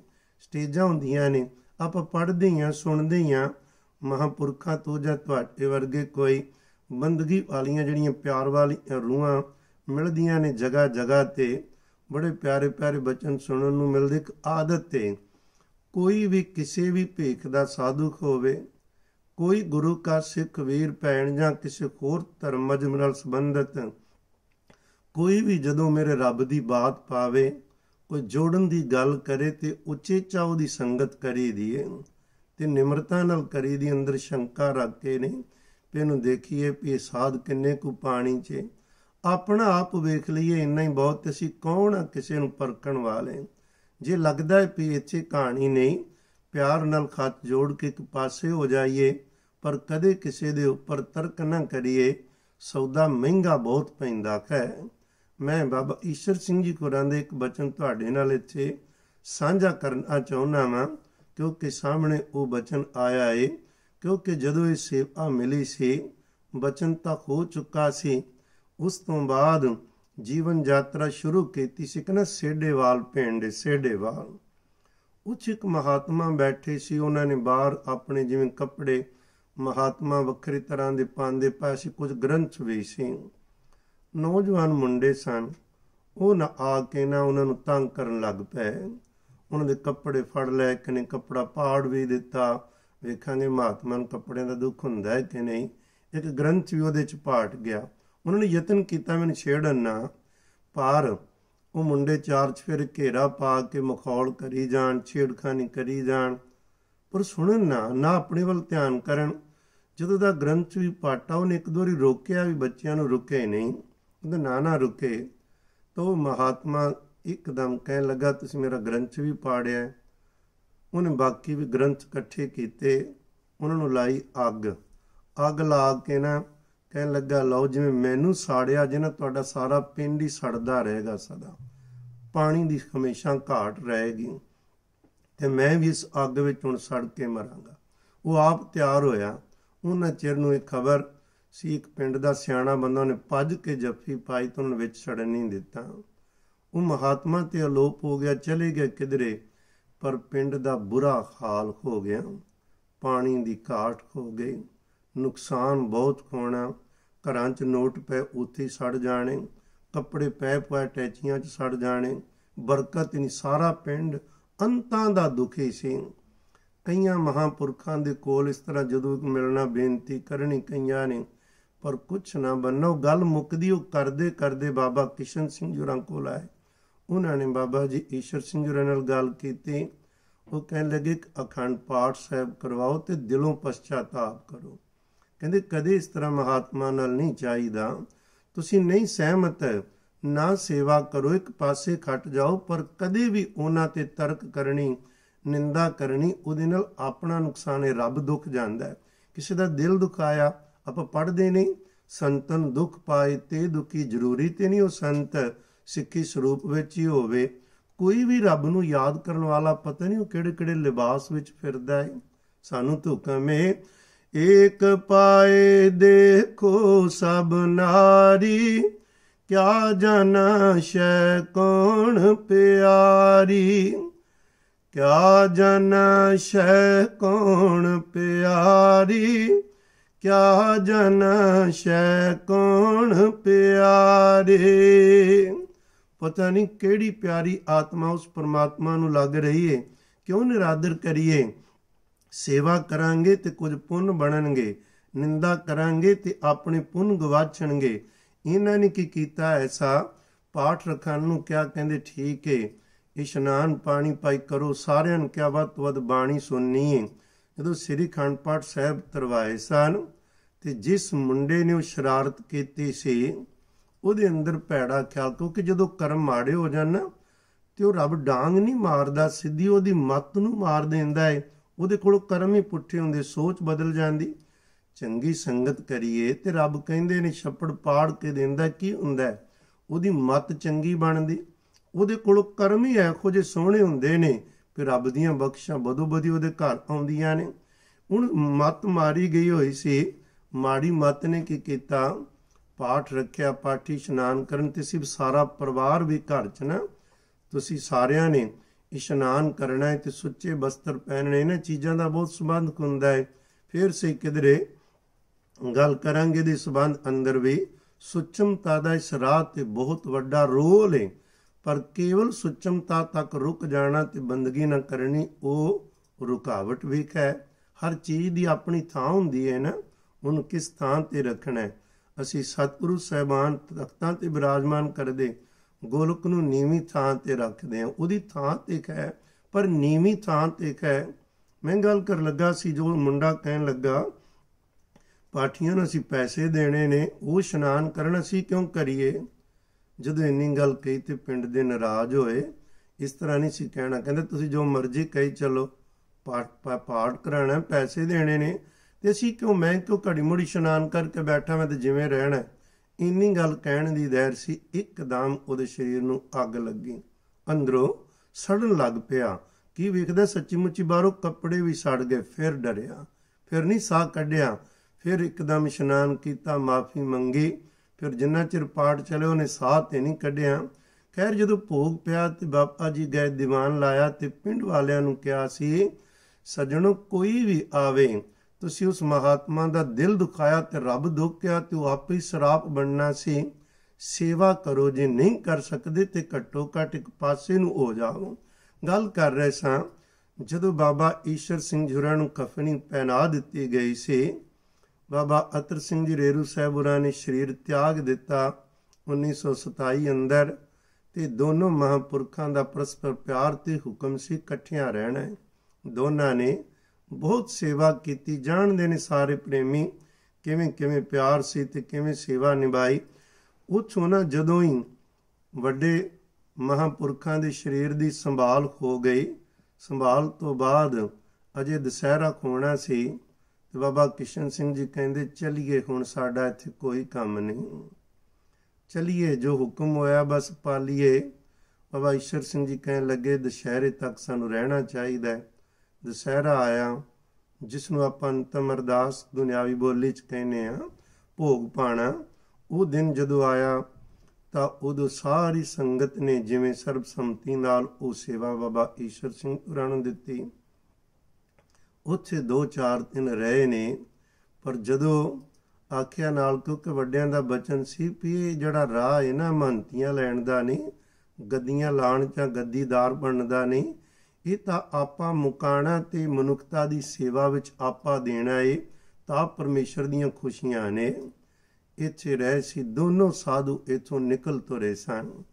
ਪਹਿਲਾਂ ਅਨੰਦਪੁਰ ਸਾਹਿਬ ਗਏ, ਫਿਰ ਕਹਿਣ ਲੱਗੇ, ਹੁਣ ਕਿੱਥੇ ਜਾਈਏ? ਵੱਖ-ਵੱਖ ਗੁਰੂ ਘਰਾਂ ਦੇ ਦਰਸ਼ਨ ਕੀਤੇ। ਪਟਿਆਲੇ ਦਾ ਪ੍ਰਣ ਕੀਤਾ ਸੀ ਵੀ 12 ਸਾਲ ਅਸੀਂ ਉਸ ਇਲਾਕੇ 'ਚ ਨਹੀਂ ਜਾਣਾ। ਆਪਣਾ ਪਿੰਡ ਹੋਣ ਕਾਰਨ ਵੀ ਉਧਰ ਦੀ ਕੋਈ ਮੋਹ ਮਮਤਾ ਜਾਂ ਕੋਈ ਹੋਰ ਕਵੇ ਵਡਿਆਈ ਕਰੇ, ਉਧਰ ਨਹੀਂ ਸੀ ਜਾਣਾ। ਫਿਰ ਦਰਬਾਰ ਸਾਹਿਬ, ਹਰਮੰਦਰ ਸਾਹਿਬ, ਸ੍ਰੀ ਅੰਮ੍ਰਿਤਸਰ ਸਾਹਿਬ ਗਏ। ਫਿਰ ਉਸ ਤੋਂ ਉੱਥੇ ਕੁਝ ਸਮਾਂ ਜੋ ਗੁਰੂ ਰਾਮਦਾਸ ਸਾਹਿਬ ਨੇ ਮਿਹਰ ਕੀਤੀ, ਫਿਰ ਚੱਲਦੇ ਫਿਰਦੇ ਪਿਆਰਿਓ ਕਟਾਰੀ ਪਿੰਡ ਦੇ ਕੋਲ ਇਧਰ ਸਰਦਾਰ ਗਿਆਨ ਸਿੰਘ ਰਾੜੇ ਵਾਲੇ, ਇੱਥੇ ਇਹਨਾਂ ਦੀ ਢੱਕੀ ਸੀ ਇੱਕ, ਜੰਗਲ ਜਿਹਾ, ਖਾਲੀ ਇਲਾਕਾ ਪਿਆ। ਤੇ ਉੱਥੇ ਆਏ ਤੇ ਇਹਨਾਂ ਨੂੰ ਜਗ੍ਹਾ ਪਸੰਦ ਆਈ। ਉੱਥੇ ਬਹਿ ਗਏ ਦੋਨੋਂ ਸਾਧੂ ਉੱਥੇ ਬੈਠ ਕੇ ਨੇੜੇ ਛੇਵੇਂ ਪਾਤਸ਼ਾਹ ਜੀ ਦਾ ਜਿਹੜਾ ਸਥਾਨ ਹੈ, ਉੱਥੇ ਜਾਣਾ, ਕੀਰਤਨ ਕੀਤਾ। ਇੱਕ ਸਮੇਂ ਪ੍ਰਸ਼ਾਦ ਛਕਣਾ ਤੇ ਬਾਕੀ ਸਮਾਂ ਫਿਰ ਟੱਕੇ ਵਿੱਚ ਹੀ ਉਹਨਾਂ ਨੇ ਬੰਦਗੀ ਤੇ ਲਾ ਦੇਣਾ। ਕੁਝ ਦਿਨ ਲੰਘੇ ਤੇ ਕਹਿਣ ਲੱਗੇ ਵੀ ਸਾਡੀ ਪਕੜ ਬਣ ਗਈ ਏ। ਇੱਥੇ ਨਹੀਂ, ਆਪਾਂ ਜੰਗਲ 'ਚ ਉੱਥੇ ਡੇਰੇ ਲਾਈਏ। ਡੇਰੇ ਲਾ ਲੇ ਪੀਣਾ ਪ੍ਰਸ਼ਾਦ ਮੰਗਣਾ ਵੀ ਨਹੀਂ ਕਿਸੇ ਕੋਲੋਂ। ਬਸ ਸਾਡਾ ਕੰਮ ਹੀ ਜੋ ਸਾਡੀ ਡਿਊਟੀ ਕਰਨੀ। ਦੋਨੋਂ ਸਾਧੂ ਬਹਿ ਗਏ 4 ਦਿਨ ਭੁੱਖੇ ਪਿਆਸੇ ਉੱਥੇ ਬੈਠੇ ਰਹੇ, ਕਿਸੇ ਨੇ ਪੁੱਛਿਆ ਨਹੀਂ। 4 ਦਿਨਾਂ ਤੋਂ ਬਾਅਦ ਅਚਾਨਕ ਕਿਸੇ ਵੇਖਿਆ ਵੀ 4 ਦਿਨੇ ਰਾਤ ਇੱਥੇ ਬੈਠੇ ਨੇ, ਦੀਵਾਨ ਵੀ ਨਹੀਂ ਹੁਣ ਤੇ ਲੱਗੇ। ਪ੍ਰਸ਼ਾਦ ਕਿੱਥੋਂ ਛਕਿਆ ਹੋਏਗਾ ਬਸ ਫਿਰ ਕਿਸੇ ਉਹਨਾਂ ਨੇ ਪ੍ਰਸ਼ਾਦ ਖਾਜਰ ਕੀਤਾ, ਸੰਗਤਾਂ ਉੱਥੇ ਆਉਣ ਲੱਗ ਪਈਆਂ। ਬਸ ਅੱਜ ਹੋਰ ਕੱਲ ਹੋਰ ਦੀਵਾਨ ਲੱਗਣੇ ਸ਼ੁਰੂ ਹੋ ਗਏ। ਬਾਬਾ ਜੀ ਦਾ ਸੁਭਾਅ ਸੀ ਭਈ ਇੱਥੇ ਕੋਈ ਇਕੱਠ ਨਾ ਹੋਵੇ, ਜਿਹਨੇ ਆਉਣਾ ਕੇਵਲ ਬੰਦਗੀ ਲਈ ਆਵੇ। ਨਹੀਂ ਤੇ ਲਾਭ ਕੀ ਸਾਧੂਆਂ ਕੋਲ ਐਵੇਂ ਇਕੱਠੇ ਹੋਣਾ, ਡੇਰਿਆਂ ਤੇ ਰਹਿਣਾ, ਉੱਥੇ ਪ੍ਰਾਪਰਟੀਆਂ ਦੇ ਕਬਜ਼ਿਆਂ ਦੇ ਰੋਲੇ ਪੈਣੇ।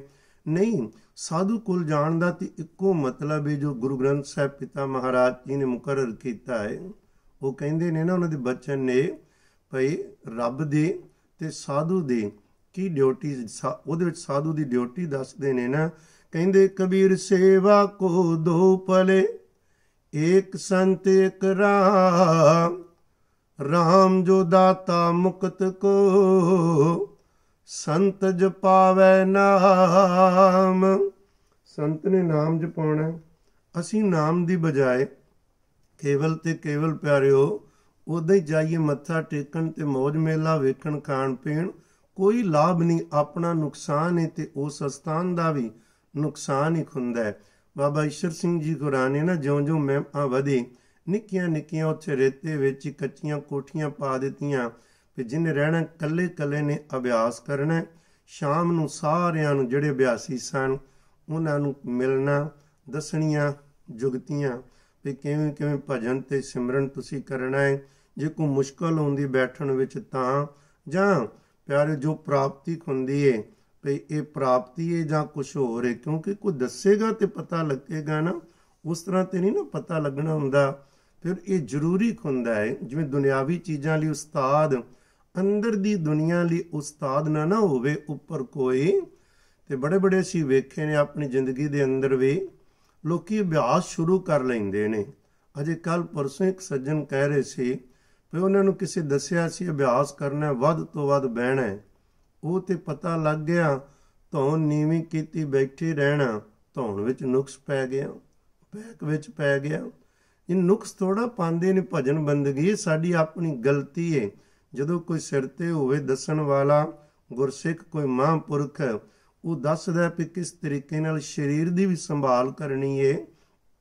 ਕਿਵੇਂ ਅਭਿਆਸ ਕਰਦਿਆਂ, ਉੱਠਣਾ ਅੰਦਰ ਰਵੇ ਜੁੜਿਆ, ਪਰ ਸਰੀਰ ਨੂੰ ਕਿਵੇਂ ਸੰਭਾਲ ਕੇ ਰੱਖਣਾ ਹੈ ਤੋ ਖੈਰ ਉਹਨਾਂ ਦੀਆਂ ਗੱਲਾਂ ਜਦੋਂ ਛਿੜਦੀਆਂ ਨੇ ਤੇ ਲੰਬੀਆਂ ਚੌੜੀਆਂ ਨੇ, ਗੁਰੂ ਕੇ ਪਿਆਰੇ 1975 70 ਸਾਲ ਦਾ ਸਮਾਂ ਬਹੁਤ ਹੁੰਦਾ ਹੈ ਪਰ ਉਹਦੇ ਵਿੱਚ ਜਦੋਂ ਸੇਵਾ ਵਿੱਚ ਵੀ ਆਇਨ ਜੇ ਉਹਨਾਂ ਕੋਈ ਸਮਾਂ ਲਈਏ, ਉਹ ਬਹੁਤ ਲੰਬਾ ਸਮਾਂ ਬਣਦਾ ਹੈ ਤੋ ਖੈਰ, ਕਿਉਂਕਿ ਉਹਨਾਂ ਬਾਰੇ ਇੱਕ ਬਚੇ ਨੇ ਵੀ 8 ਲੱਖ ਪ੍ਰਾਣੀਆਂ ਨੇ ਅੰਮ੍ਰਿਤ ਦੀ ਦਾਤ ਉਹਨਾਂ ਦੇ ਬਚਨ ਸੁਣ ਕੇ ਪੰਜਾਂ ਪਿਆਰਿਆਂ ਕੋਲੋਂ ਲਈ ਸੀ।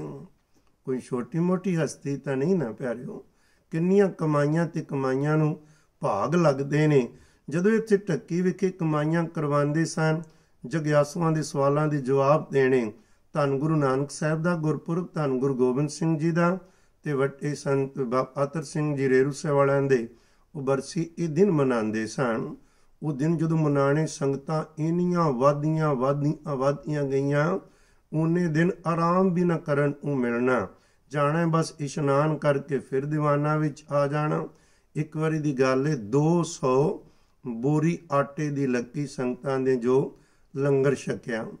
200 ਕੜਾ ਪ੍ਰਸ਼ਾਦ ਆ ਬਣਿਆ ਇਹਨਾਂ ਦਿਨਾਂ ਅੰਦਰ। ਫਿਰ ਬਸ ਜਦੋਂ ਇੱਕ ਵਾਰੀ ਆਖੋ ਜੀ ਖਾਲਤ ਹੋ ਗਈ, ਦੀਵਾਨਾ ਤੋਂ ਬਾਅਦ ਪੇ ਸ਼ਰੀਰ 'ਚ ਉੱਠਣ ਦੀ ਵੀ ਸੱਤਿਆ ਨਹੀਂ ਸੀ ਰਹਿ ਗਈ। ਨੇਮ ਟੁੱਟਾ, ਫਿਰ ਦੋਨਾਂ ਸਾਧਾਂ ਨੇ ਪ੍ਰਣ ਕਰ ਲਿਆ ਕਿ ਨਹੀਂ। ਇਸ ਤਰ੍ਹਾਂ ਨਹੀਂ, ਆਪਾਂ ਨੂੰ ਆਪਣਾ ਨੇਮ ਨਿਭਾਉਣਾ ਜ਼ਰੂਰੀ ਏ। ਸਮਾਂ ਮੁਕਰਰ ਕਰੀਏ ਕਿ ਇੰਨਾ ਹੀ ਸਮਾਂ ਦੀਵਾਨ ਲੱਗੇਗਾ। ਇੰਨਾ ਸਮਾਂ ਹੀ ਹਾਜ਼ਰੀ ਭਰਨੀ ਏ। ਜੇ ਸਰੀਰ ਰਹੇਗਾ ਤੇ ਬਾਕੀ ਸੇਵਾ ਹੋਏਗੀ ਉਹ ਫਿਰ ਨੇਮ ਬਦਲ ਦਿੱਤਾ। ਇੱਕ ਹੋਰ ਬੇਨਤੀ ਕਰਾਂ। ਸਾਧੂਆਂ ਦੀ ਸੰਗਤ 'ਚ ਬਚਨ ਅਨਮੋਲ ਮਿਲਦੇ। ਉਹ ਕਹਿਣ ਲੱਗੇ ਵੀ ਜਿਹੜਾ ਜਾਗਿਆ ਹੋਇਆ, ਜਿਹੜਾ ਪੂਰਨ ਸਾਧੂ ਹੋਏਗਾ ਨਾ, ਕਦੇ ਲਕੀਰ ਦਾ ਫਕੀਰ ਨਹੀਂ ਬਣਦਾ। ਵੀ ਇੱਕ ਲੀ ਤੇ ਉਹਨੇ ਤੁਰੇ ਰਹਿਣਾ ਉਹ ਆਜ਼ਾਦ ਹੈ। ਉਹਨੂੰ ਪਿੱਛੋਂ ਸਤਿਗੁਰੂ ਦੇ ਹੁਕਮ ਦਾ ਪਤਾ ਹੈ ਕੀ ਹੁਕਮ ਹੋ ਰਿਹਾ ਹੈ। ਕਿਵੇਂ ਅਗਲੇ ਦਾ ਭਲਾ ਹੋਣਾ ਹੈ, ਕਿਵੇਂ ਇਹ ਭਲਾ ਕਰਨ ਵਿੱਚ ਸਰੀਰ ਦੀ ਵਰਤੋਂ ਕਰਨੀ, ਉਹ ਤਬਦੀਲ ਕਰਦਾ ਰਹਿੰਦਾ ਹੈ, ਬਦਲਦਾ ਰਹਿੰਦਾ ਹੈ। ਹਾਲਾਤ ਬਾਹਰ ਇਹ ਵੇਖ ਕੇ ਲੋਕ ਤਾਂ ਬਦਲਦੇ ਨਾ, ਲਾਲਚ ਵਸ, ਇਹ ਬਦਲਦੇ ਭਲੇ ਵਾਸਤੇ ਵੀ ਭਲਾ ਕਰਨਾ ਹੈ ਤੇ ਕਿਵੇਂ ਹੋਏਗਾ। ਨੇਮ ਬਦਲਦੇ ਰਹੇ ਤੋ ਇੱਥੇ ਵੀ ਜਦੋਂ ਫਿਰ ਉਹ ਬੰਦ ਕੀਤਾ, ਫਿਰ ਕੌਲੀ ਵਾਲੀ ਸੰਗਤਾਂ ਬਾਹਰ ਵੀ ਬੇਨਤੀ ਕਰਨ ਲੱਗ ਪਈਆਂ। ਬਾਬਾ ਜੀ ਬਾਹਰ ਵੀ ਜਾਣ ਲੱਗ ਪਏ। ਦੀਵਾਨ ਲਾਂਦੇ ਤੇ ਕਮਾਲ ਦੀ ਖੇਡ ਇਹ ਵੇ। ਦੇਖੋ ਸਾਜ਼ ਵਜਾਣੇ ਇਹਦੇ ਲਈ ਕਿੰਨੀਆਂ ਕਿੰਨੀਆਂ ਗੁਰੂ ਕੇ ਪਿਆਰੇ ਕੀਰਤਨੀਏ ਮਿਹਨਤਾਂ ਕਰਦੇ ਨੇ। ਉਸਤਾਦਾਂ ਦੀਆਂ ਝੜਕਾਂ ਖਾਂਦੇ, ਉਹਨਾਂ ਦੀ ਸੇਵਾ ਕਰਦੇ, ਦਿਨੇ ਰਾਤ ਰਿਆਜ਼ ਕਰਦੇ ਗਲੇ ਦਾ। ਫਿਰ ਵਾਜੇ ਤੇ ਦੀ ਪ੍ਰੈਕਟਿਸ ਤਾਨਪੁਰੇ ਦੀ।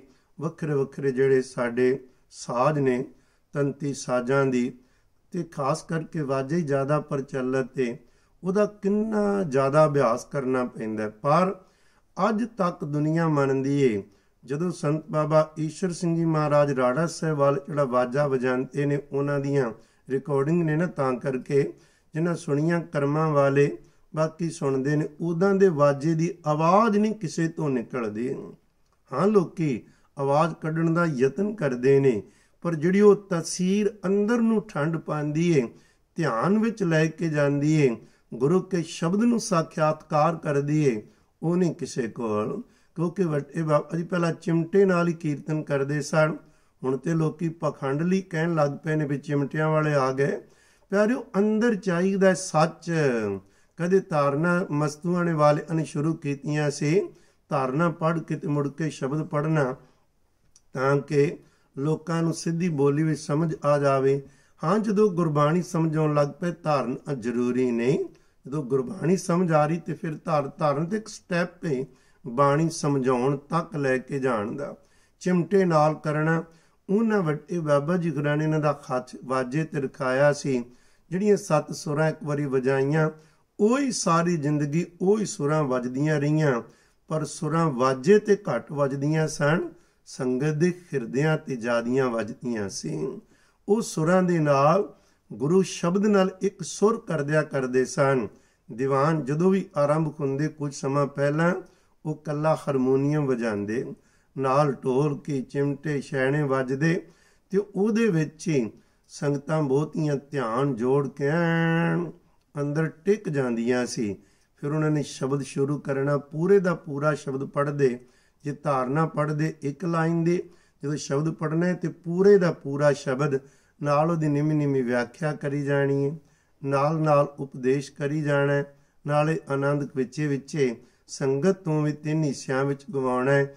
ਤੋ ਜਦੋਂ ਮਹਾਪੁਰਖਾਂ ਨੇ ਇਸ ਤਰ੍ਹਾਂ ਸ਼ੁਰੂ ਕੀਤਾ, ਅੱਜ ਹੋਰ ਕੱਲ ਖੋਰ, ਬਹੁਤ ਵਧੇਰੇ ਸੰਗਤਾਂ ਜਿਹੜੀਆਂ ਲਾਭ ਉਠਾਉਂਦੀਆਂ ਰਹੀਆਂ।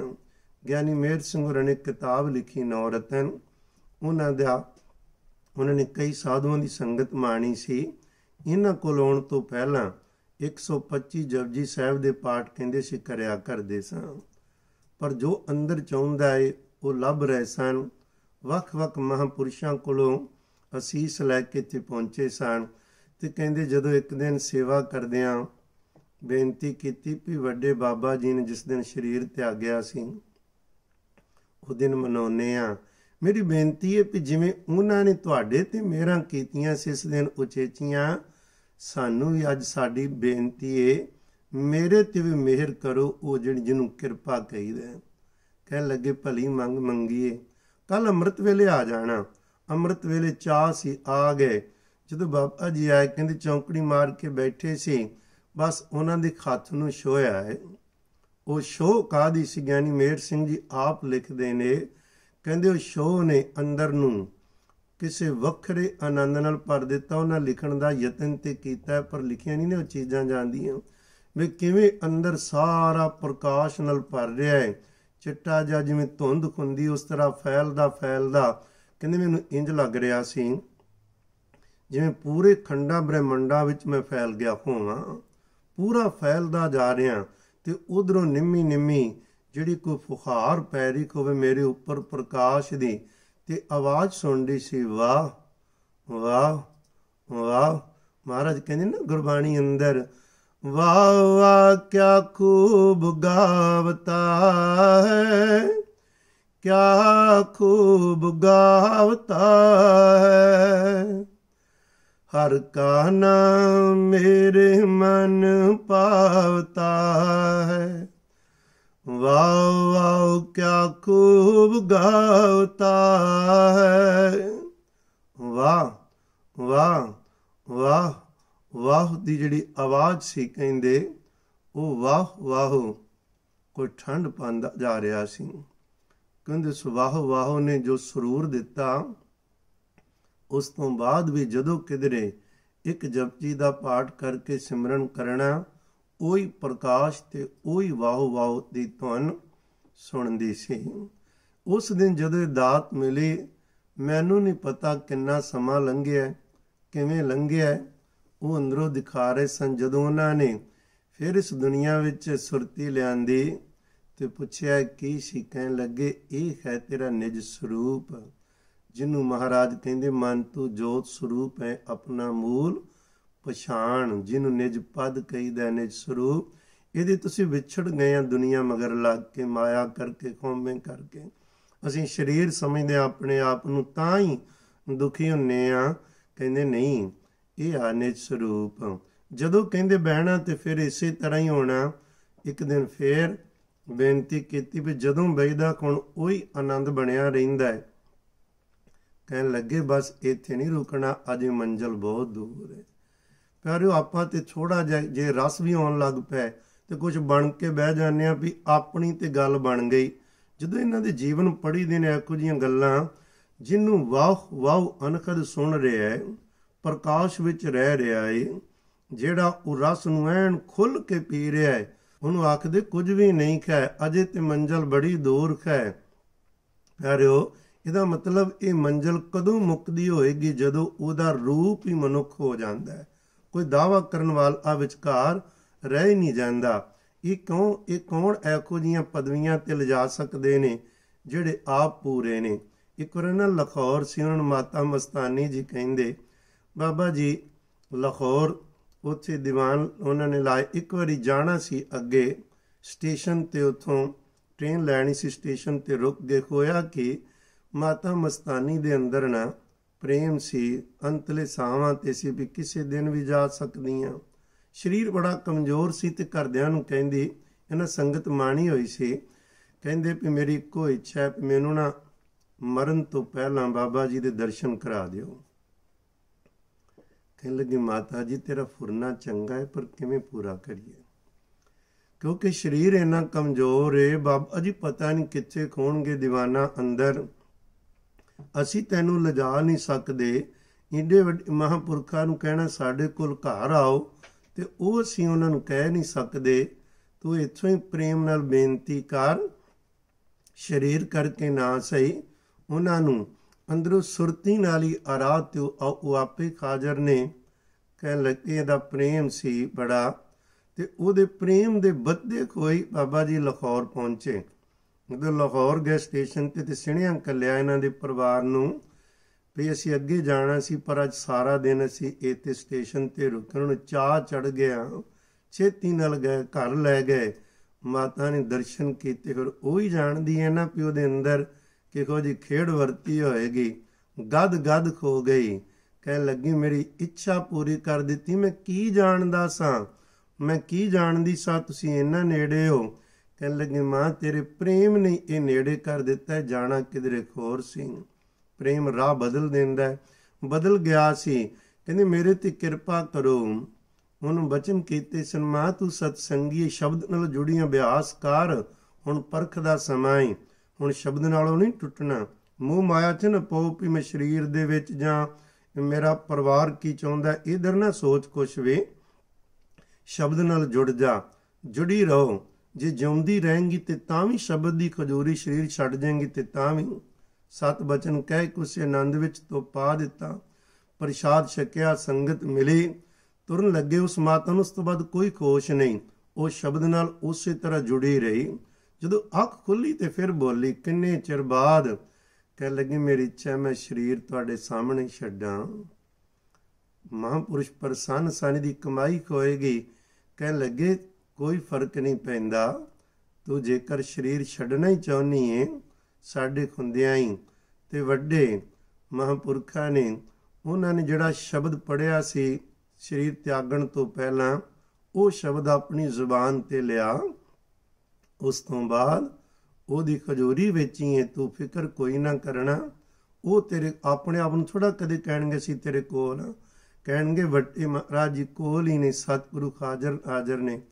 ਉਸ ਮਾਤਾ ਨੇ ਸ਼ਬਦ ਪੜਿਆ ਕੋਟ ਬ੍ਰਹਮੰਡ ਕੋ ਠਾਕੁਰ ਸੁਆਮੀ ਸਰਬ ਜੀਆਂ ਕਾ ਦਾਤਾ ਰੇ ਪ੍ਰਤਪਾਲੈ ਨਿਤ ਸਾਰ ਸਮਾਲੈ ਇੱਕ ਗੁਣ ਨਹੀਂ ਮੂਰਖ ਜਾਤਾ ਰੇ, ਹਰ ਆਰਾਧ ਨ ਜਾਣਾ ਰੇ, ਹਰ ਹਰ ਗੁਰ ਗੁਰ ਕਰਤਾ ਰੇ, ਹਰ ਜੀਉ ਨਾਮ ਪਰਿਓ ਰਾਮਦਾਸ ਰਹਾਉ, ਦੀਨ ਦਿਆਲ ਕਿਰਪਾਲ ਸੁਖ ਸਾਗਰ, ਸਰਬ ਕਟਾ ਭਰਪੂਰੀ ਰੇ ਪੇਖਤ ਸੁਣਤ ਸਦਾ ਕਹਿ ਸੰਗੇ ਮੈਂ ਮੂਰਖ ਜਾਣਿਆ ਦੂਰੀ ਰੇ, ਹਰ ਬੇਅੰਤ ਕੋ ਮਿਤ ਕਰ ਵਰਨੋ, ਕਿਆ ਜਾਣਾ ਕੋਈ ਕੈਸੋ ਰੇ?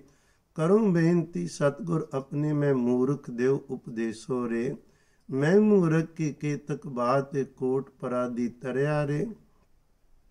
ਗੁਰੂ ਨਾਨਕ ਜਿਨ ਸੁਣਿਆ, ਪੇਖਿਆ ਸੇ ਫਿਰ ਗਰਬਾਸ ਨ ਪਰਿਆ ਰੇ। ਜਦੋਂ ਪੜਿਆ ਦੋ ਚਾਰ ਵਾਰੀ ਸੇ ਫਿਰ ਕਰਬਾਸ ਨ ਭਰਿਆ ਰੇ, ਸਰੀਰ ਤਿਆਗ ਦਿੱਤਾ। ਮਹਾਂਪੁਰਸ਼ ਅਸੀਸਾਂ ਦੇ ਕੇ ਚਲੇ ਗਏ। ਮੇਰੇ ਕਹਿਣ ਤੋਂ ਮੁਰਾਦ ਏ ਬਾਬਾ ਜੀ ਖੁਰਾਨੇ ਪਿਆਰਿਓ ਬਖਸ਼ਾਂ ਜਿਹੜੀਆਂ ਦਰਗਾਹ ਚੋਂ ਲੈ ਕੇ ਆਏ ਨੇ, ਉਹ ਵੰਡੀਆਂ ਨੇ, ਜਿੱਥੇ ਵੀ ਕੋਈ ਯਾਦ ਕਰ ਰਿਹਾ, ਉੱਥੇ ਵੰਡੀਆਂ ਨੇ। ਕੌਣ ਜਿਹੜਾ ਕਿੰਨੀ ਸਮਰੱਥਾ ਹੋਏਗੀ? ਸ੍ਰੀ ਇਕਰਾ ਮਨਸੂਰੀ ਗਏ ਹੋਏ ਸੀ ਤੇ ਮਨਸੂਰੀ ਤੋਂ ਕਹਿਣ ਲੱਗੇ, ਸਾਨੂੰ ਨਾ ਕਸ਼ਮੀਰ ਦੇ ਇਲਾਕੇ 'ਚ ਬੜੀ ਖਿੱਚ ਪੈ ਰਹੀ ਹੈ। ਕਸ਼ਮੀਰ ਦੇ ਬਰਫੀਲੇ ਇਲਾਕੇ 'ਚ ਬਰਫਾਂ ਦੇ ਥੱਲਿਓਂ ਕੋਈ ਰੂਹ ਕੁਰਲਾ ਰਹੀ ਹੈ ਤੇ ਸਾਨੂੰ ਸੱਦ ਰਹੀ ਹੈ। ਚਲੋ ਛੇਤੀ ਨਾਲ ਪ੍ਰੋਗਰਾਮ ਨਹੀਂ ਸੀ। ਜਦੋਂ ਗੱਡੀ ਤੇ ਜਾ ਰਹੇ ਨੇ ਤੇ ਇੱਕ ਜਗ੍ਹਾ ਤੇ ਜਾ ਕੇ ਕਹਿੰਦੇ, ਇੱਥੇ ਰੁਕ ਜਾਓ। ਜਿੱਥੇ ਲੋਕੀ ਤੇ ਘੁੰਮਣ ਫਿਰਨ ਜਾਂਦੇ।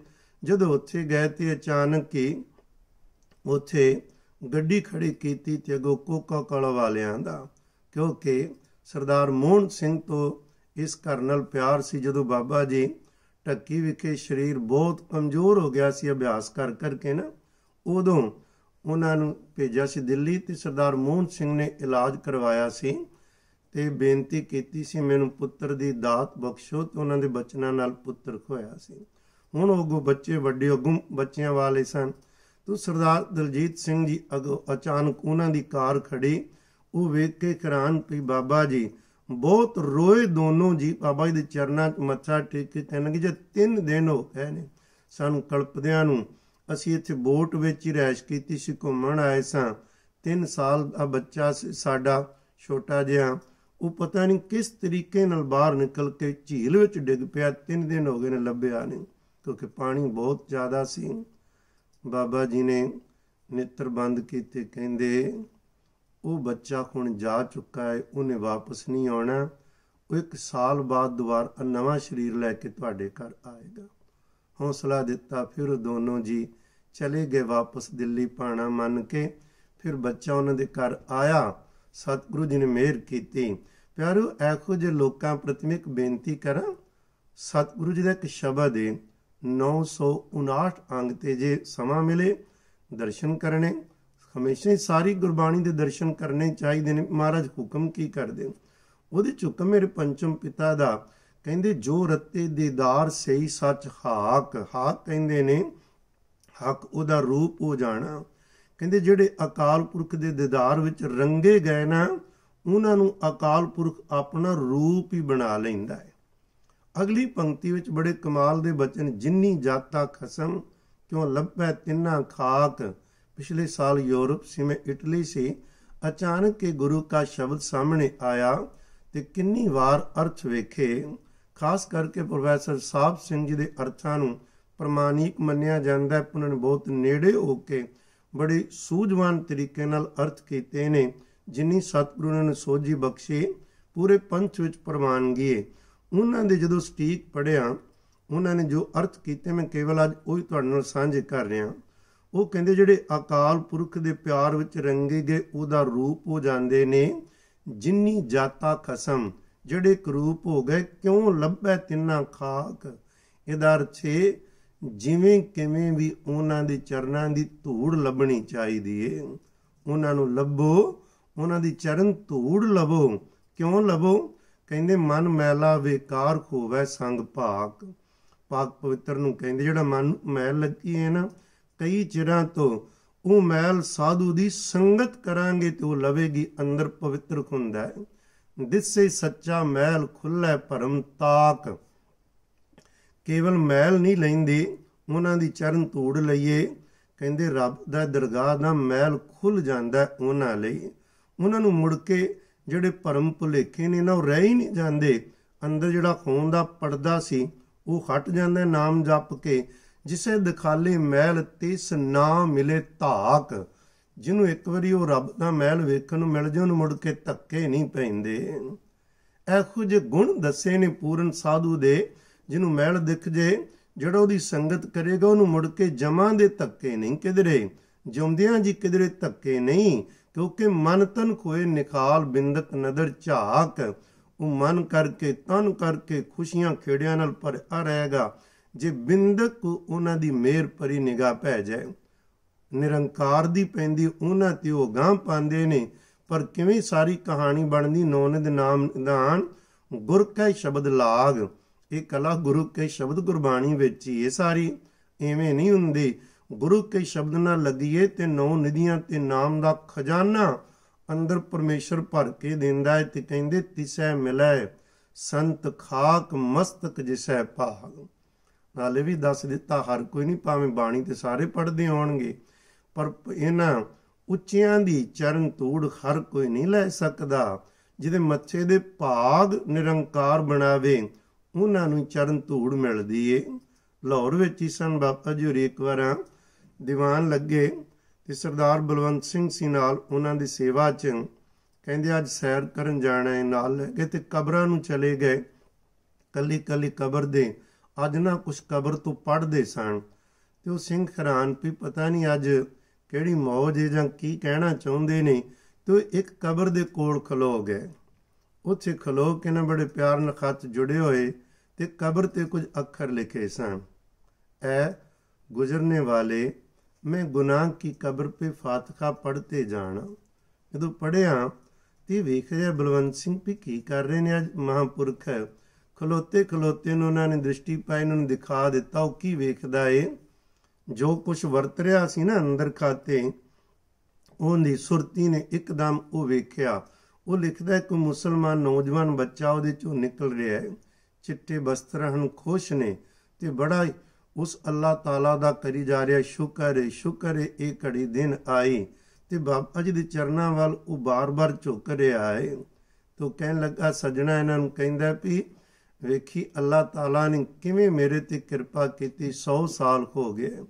ਮੈਂ ਜਿਉਂਦਿਆਂ ਜੀ ਮੈਂ ਅੱਲਾ ਨੂੰ ਪਿਆਰ ਕਰਦਾ ਸਾਂ।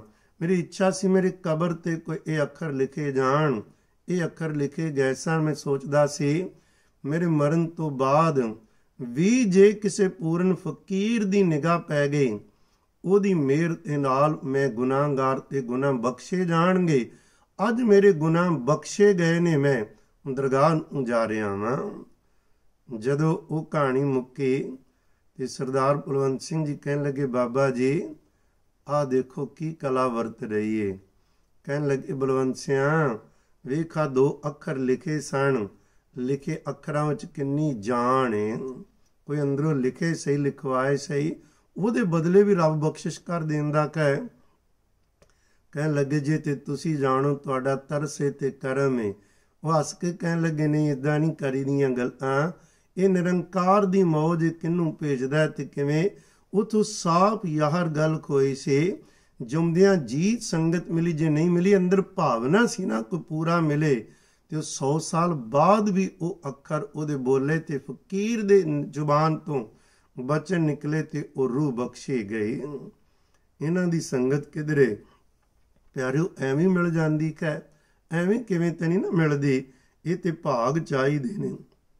ਇਹਦੇ ਲਈ ਅੰਤਾਂ ਦੀ ਸ਼ਰਧਾ ਹੋਵੇ ਰੱਬ ਕੋਲ ਅਰਦਾਸਾਂ ਹੋਣ ਸ੍ਰੀ ਗੁਰੂ ਗ੍ਰੰਥ ਸਾਹਿਬ ਪਾਤਸ਼ਾਹ ਮਹਾਰਾਜ ਜੀ ਦੀ ਬਾਣੀ ਨਾਲ ਅੰਤਾਂ ਦਾ ਪਿਆਰ ਹੋਵੇ ਤਾਂ ਹੀ ਕਲਾ ਵਰਤਦੀ ਹੈ ਨਾ। ਉਵੇਂ ਤੇ ਨਹੀਂ ਨਾ ਵਰਤਦੀ। ਸਤਿਗੁਰੂ ਜੀ ਤਾਂ ਕਹਿੰਦੇ ਨੇ, ਆਪਾਂ ਆਰੰਭ ਵਿੱਚ ਪੜਿਆ ਸੀ, ਹਮ ਸੰਤਨ ਸੋ ਬਣ ਆਏ। ਕਹਿੰਦੀ ਮੇਰੀ ਸੰਤਾਂ ਨਾਲ ਬਣ ਆ ਗਈ, ਜੀ ਆਪੇ ਬਣ ਆਈ ਨਹੀਂ ਪੂਰਬ ਲਿਖਿਆ, ਭਾਈ ਕਿਸੇ ਨੇ ਪੂਰਬਲੇ ਲੇਖ ਲਿਖੇ ਸਨ। ਹਰ ਕਿਸੇ ਦੀ ਬਣ ਨਹੀਂ ਆਉਂਦੀ ਹੈ, ਪਰ ਜਿਨ੍ਹਾਂ ਦੀ ਬਣ ਆਈ, ਉਹਨਾਂ ਨੇ ਬਖਸ਼ਾਂ ਵੀ। ਸਤਿਗੁਰੂ ਜੀ ਦੀਆਂ ਖੁੱਲੀਆਂ ਮਾਣੀਆਂ ਨੇ। ਪਰਿਵਾਰਾਂ ਦੇ ਪਰਿਵਾਰ ਤਰ ਗਏ। ਗੁਰੂ ਕੇ ਪਿਆਰਿਓ, ਉਹਨਾਂ ਦੀਆਂ ਕਹਾਣੀਆਂ ਬੜੀਆਂ ਅਜੀਬ ਨੇ। ਇੱਕ ਗੱਲ ਮੈਂ ਇੱਕ ਦੋ ਕਹਿ ਕੇ ਫਿਰ ਸਮਾਪਤੀ ਕਰਦੇ ਹਾਂ। ਕੁਝ ਸਮਾਂ ਲੰਬਾ ਪਲਾਣ ਆਏ, ਪਰ 5-7 ਮਿੰਟ ਹੋਰ ਕਹਿ ਕੇ ਫਿਰ ਆਪਾਂ ਸਮਾਪਤੀ ਕਰਾਂਗੇ। ਹੋਇਆ ਕਿ, ਇੱਕ ਵਾਰ ਜਦੋਂ ਅਫਰੀਕਾ ਗਏ ਨੇ ਤੇ ਸਰਦਾਰ ਠਾਕੁਰ ਸਿੰਘ ਜੀ ਸਨ। ਮੁਕੰਦਪੁਰ ਦੇ ਤੇ ਉਹਨਾਂ ਦੇ ਅੰਦਰ ਇੱਕ ਬਣੀ ਵੀ ਬਾਬਾ ਜੀ ਖਫਣੀ ਪਾ ਕੇ ਰੱਖਦੇ ਨੇ। ਉਹਨਾਂ ਨੇ ਇੱਕ ਨਾ ਬੜੀ ਮਹਿੰਗੀ ਜੀ ਐਚਕਨ ਲਿਆਂਦੀ। ਲੰਬਾ ਕੋਟ ਤੇ ਚੂੜੀਦਾਰ ਪਜਾਮਾ। ਉਹਨਾਂ ਲਿਆਂਦਾ ਤੇ ਇੱਛਾ ਸੀ, ਕਹਿੰਦੇ ਬਾਬਾ ਜੀ ਮੇਰੀ ਇੱਛਾ ਹੈ, ਤੁਸੀਂ ਇੱਕ ਵਾਰੀ ਇਹ ਪਹਿਨੋ ਤੇ ਮੈਂ ਫੋਟੋ ਖਿੱਚਣਾ ਚਾਹੁੰਦਾ ਤੇ ਰੱਖਣਾ ਚਾਹਨਾ ਉਹਦੇ ਲਈ ਮਾਮੂਲੀ ਗੱਲ ਸੀ। ਤੇ ਬਾਬਾ ਈਸ਼ਰ ਸਿੰਘ ਜੀ ਲਈ ਇੱਕ ਬਹੁਤ ਵੱਡਾ ਜ਼ਿੰਦਗੀ ਦਾ ਮਸਲਾ ਸੀ। ਵੀ ਵੱਡਿਆਂ ਨੇ ਸਾਧੂ ਨੇ ਖਫਣੀ ਪਵਾਈਏ ਤੇ ਖਫਣੀ ਦੀ ਜਗ੍ਹਾ ਤੇ ਐਚਕਨ ਕਿਵੇਂ ਪਾਣ? ਪਰ ਨਾਲ ਹੀ ਉਹਨਾਂ ਨੂੰ ਦੂਜਾ ਬਚਨਾ ਚੇਤਾ ਆ ਗਿਆ। ਬਾਬਾ ਅਤਰ ਸਿੰਘ ਰੇਰੂ ਵਾਲਿਆਂ ਨੇ ਕਿਹਾ ਸੀ, ਅੱਜ ਤੈਨੂੰ ਖਫਣੀ ਪਵਾ ਰਹੇ ਸਮਾਂ ਆਏਗਾ, ਤੂੰ ਆਜ਼ਾਦ ਹੋਏਗਾ। ਜਿਕੋ ਜੇ ਮਰਜ਼ੀ ਤੂੰ ਕੱਪੜੇ ਪਹਿਨੀ, ਪਰ ਮਾਇਆ ਤੇਰੇ ਤੇ ਅਸਰ ਨਹੀਂ ਕਰੇਗੀ ਕੋਈ ਵੀ। ਕਹਿੰਦੇ, ਲੱਗਦਾ ਅੱਜ ਉਹ ਹੀ ਵੇਲਾ, ਕਿਉਂਕਿ ਬਚਨ ਕਿਸ਼ੋਰੀ ਲਾਲ ਦੇ ਗ੍ਰਹਿ ਵਿਖੇ ਕਹੇ ਸਨ, ਉਹ ਪੱਲਾ ਸੀ ਉਹਦੇ ਪਰਿਵਾਰ ਕੋਲ ਬੈਠ ਕੇ ਉਹਨੇ ਨਾ ਕੁਝ ਭੇਟਾ ਕੀਤੇ ਸਨ ਬਸਤਰ। ਬਾਬਾ ਈਸ਼ਰ ਸਿੰਘ ਜੀ ਨੂੰ ਵੀ ਬਾਬਾ ਤਰ ਸਿੰਘ ਕਹਿੰਦੇ ਸਨ, ਅਜੇ ਸਮਾਂ ਨਹੀਂ। ਜੇ ਕੋਣ, ਜੇ ਚਾਹੁੰਦਾ ਤੇ ਸੇਵਾ ਕਰਵਾ ਲੈ, ਪਰ ਅਜੇ ਸਮਾਂ ਨਹੀਂ।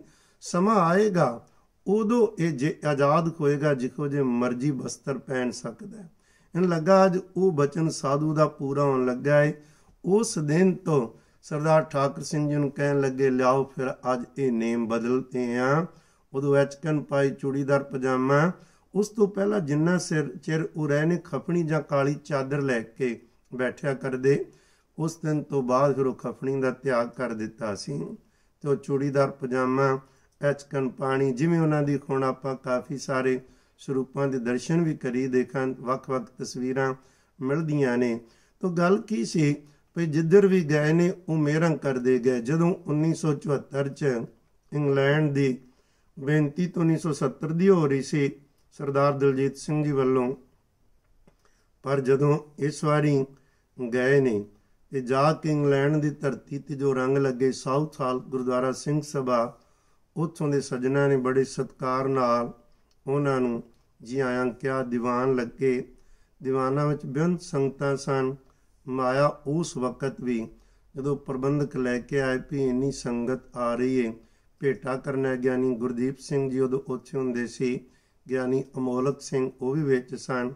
ਸਰਦਾਰ ਤਾਰਾ ਸਿੰਘ ਪ੍ਰਧਾਨ ਸਨ, ਉਹ ਵੀ ਸਨ। ਹੋਰ ਇਸ ਤਰ੍ਹਾਂ ਦੇ ਕੋਈ ਸੱਜਣ ਸੀ।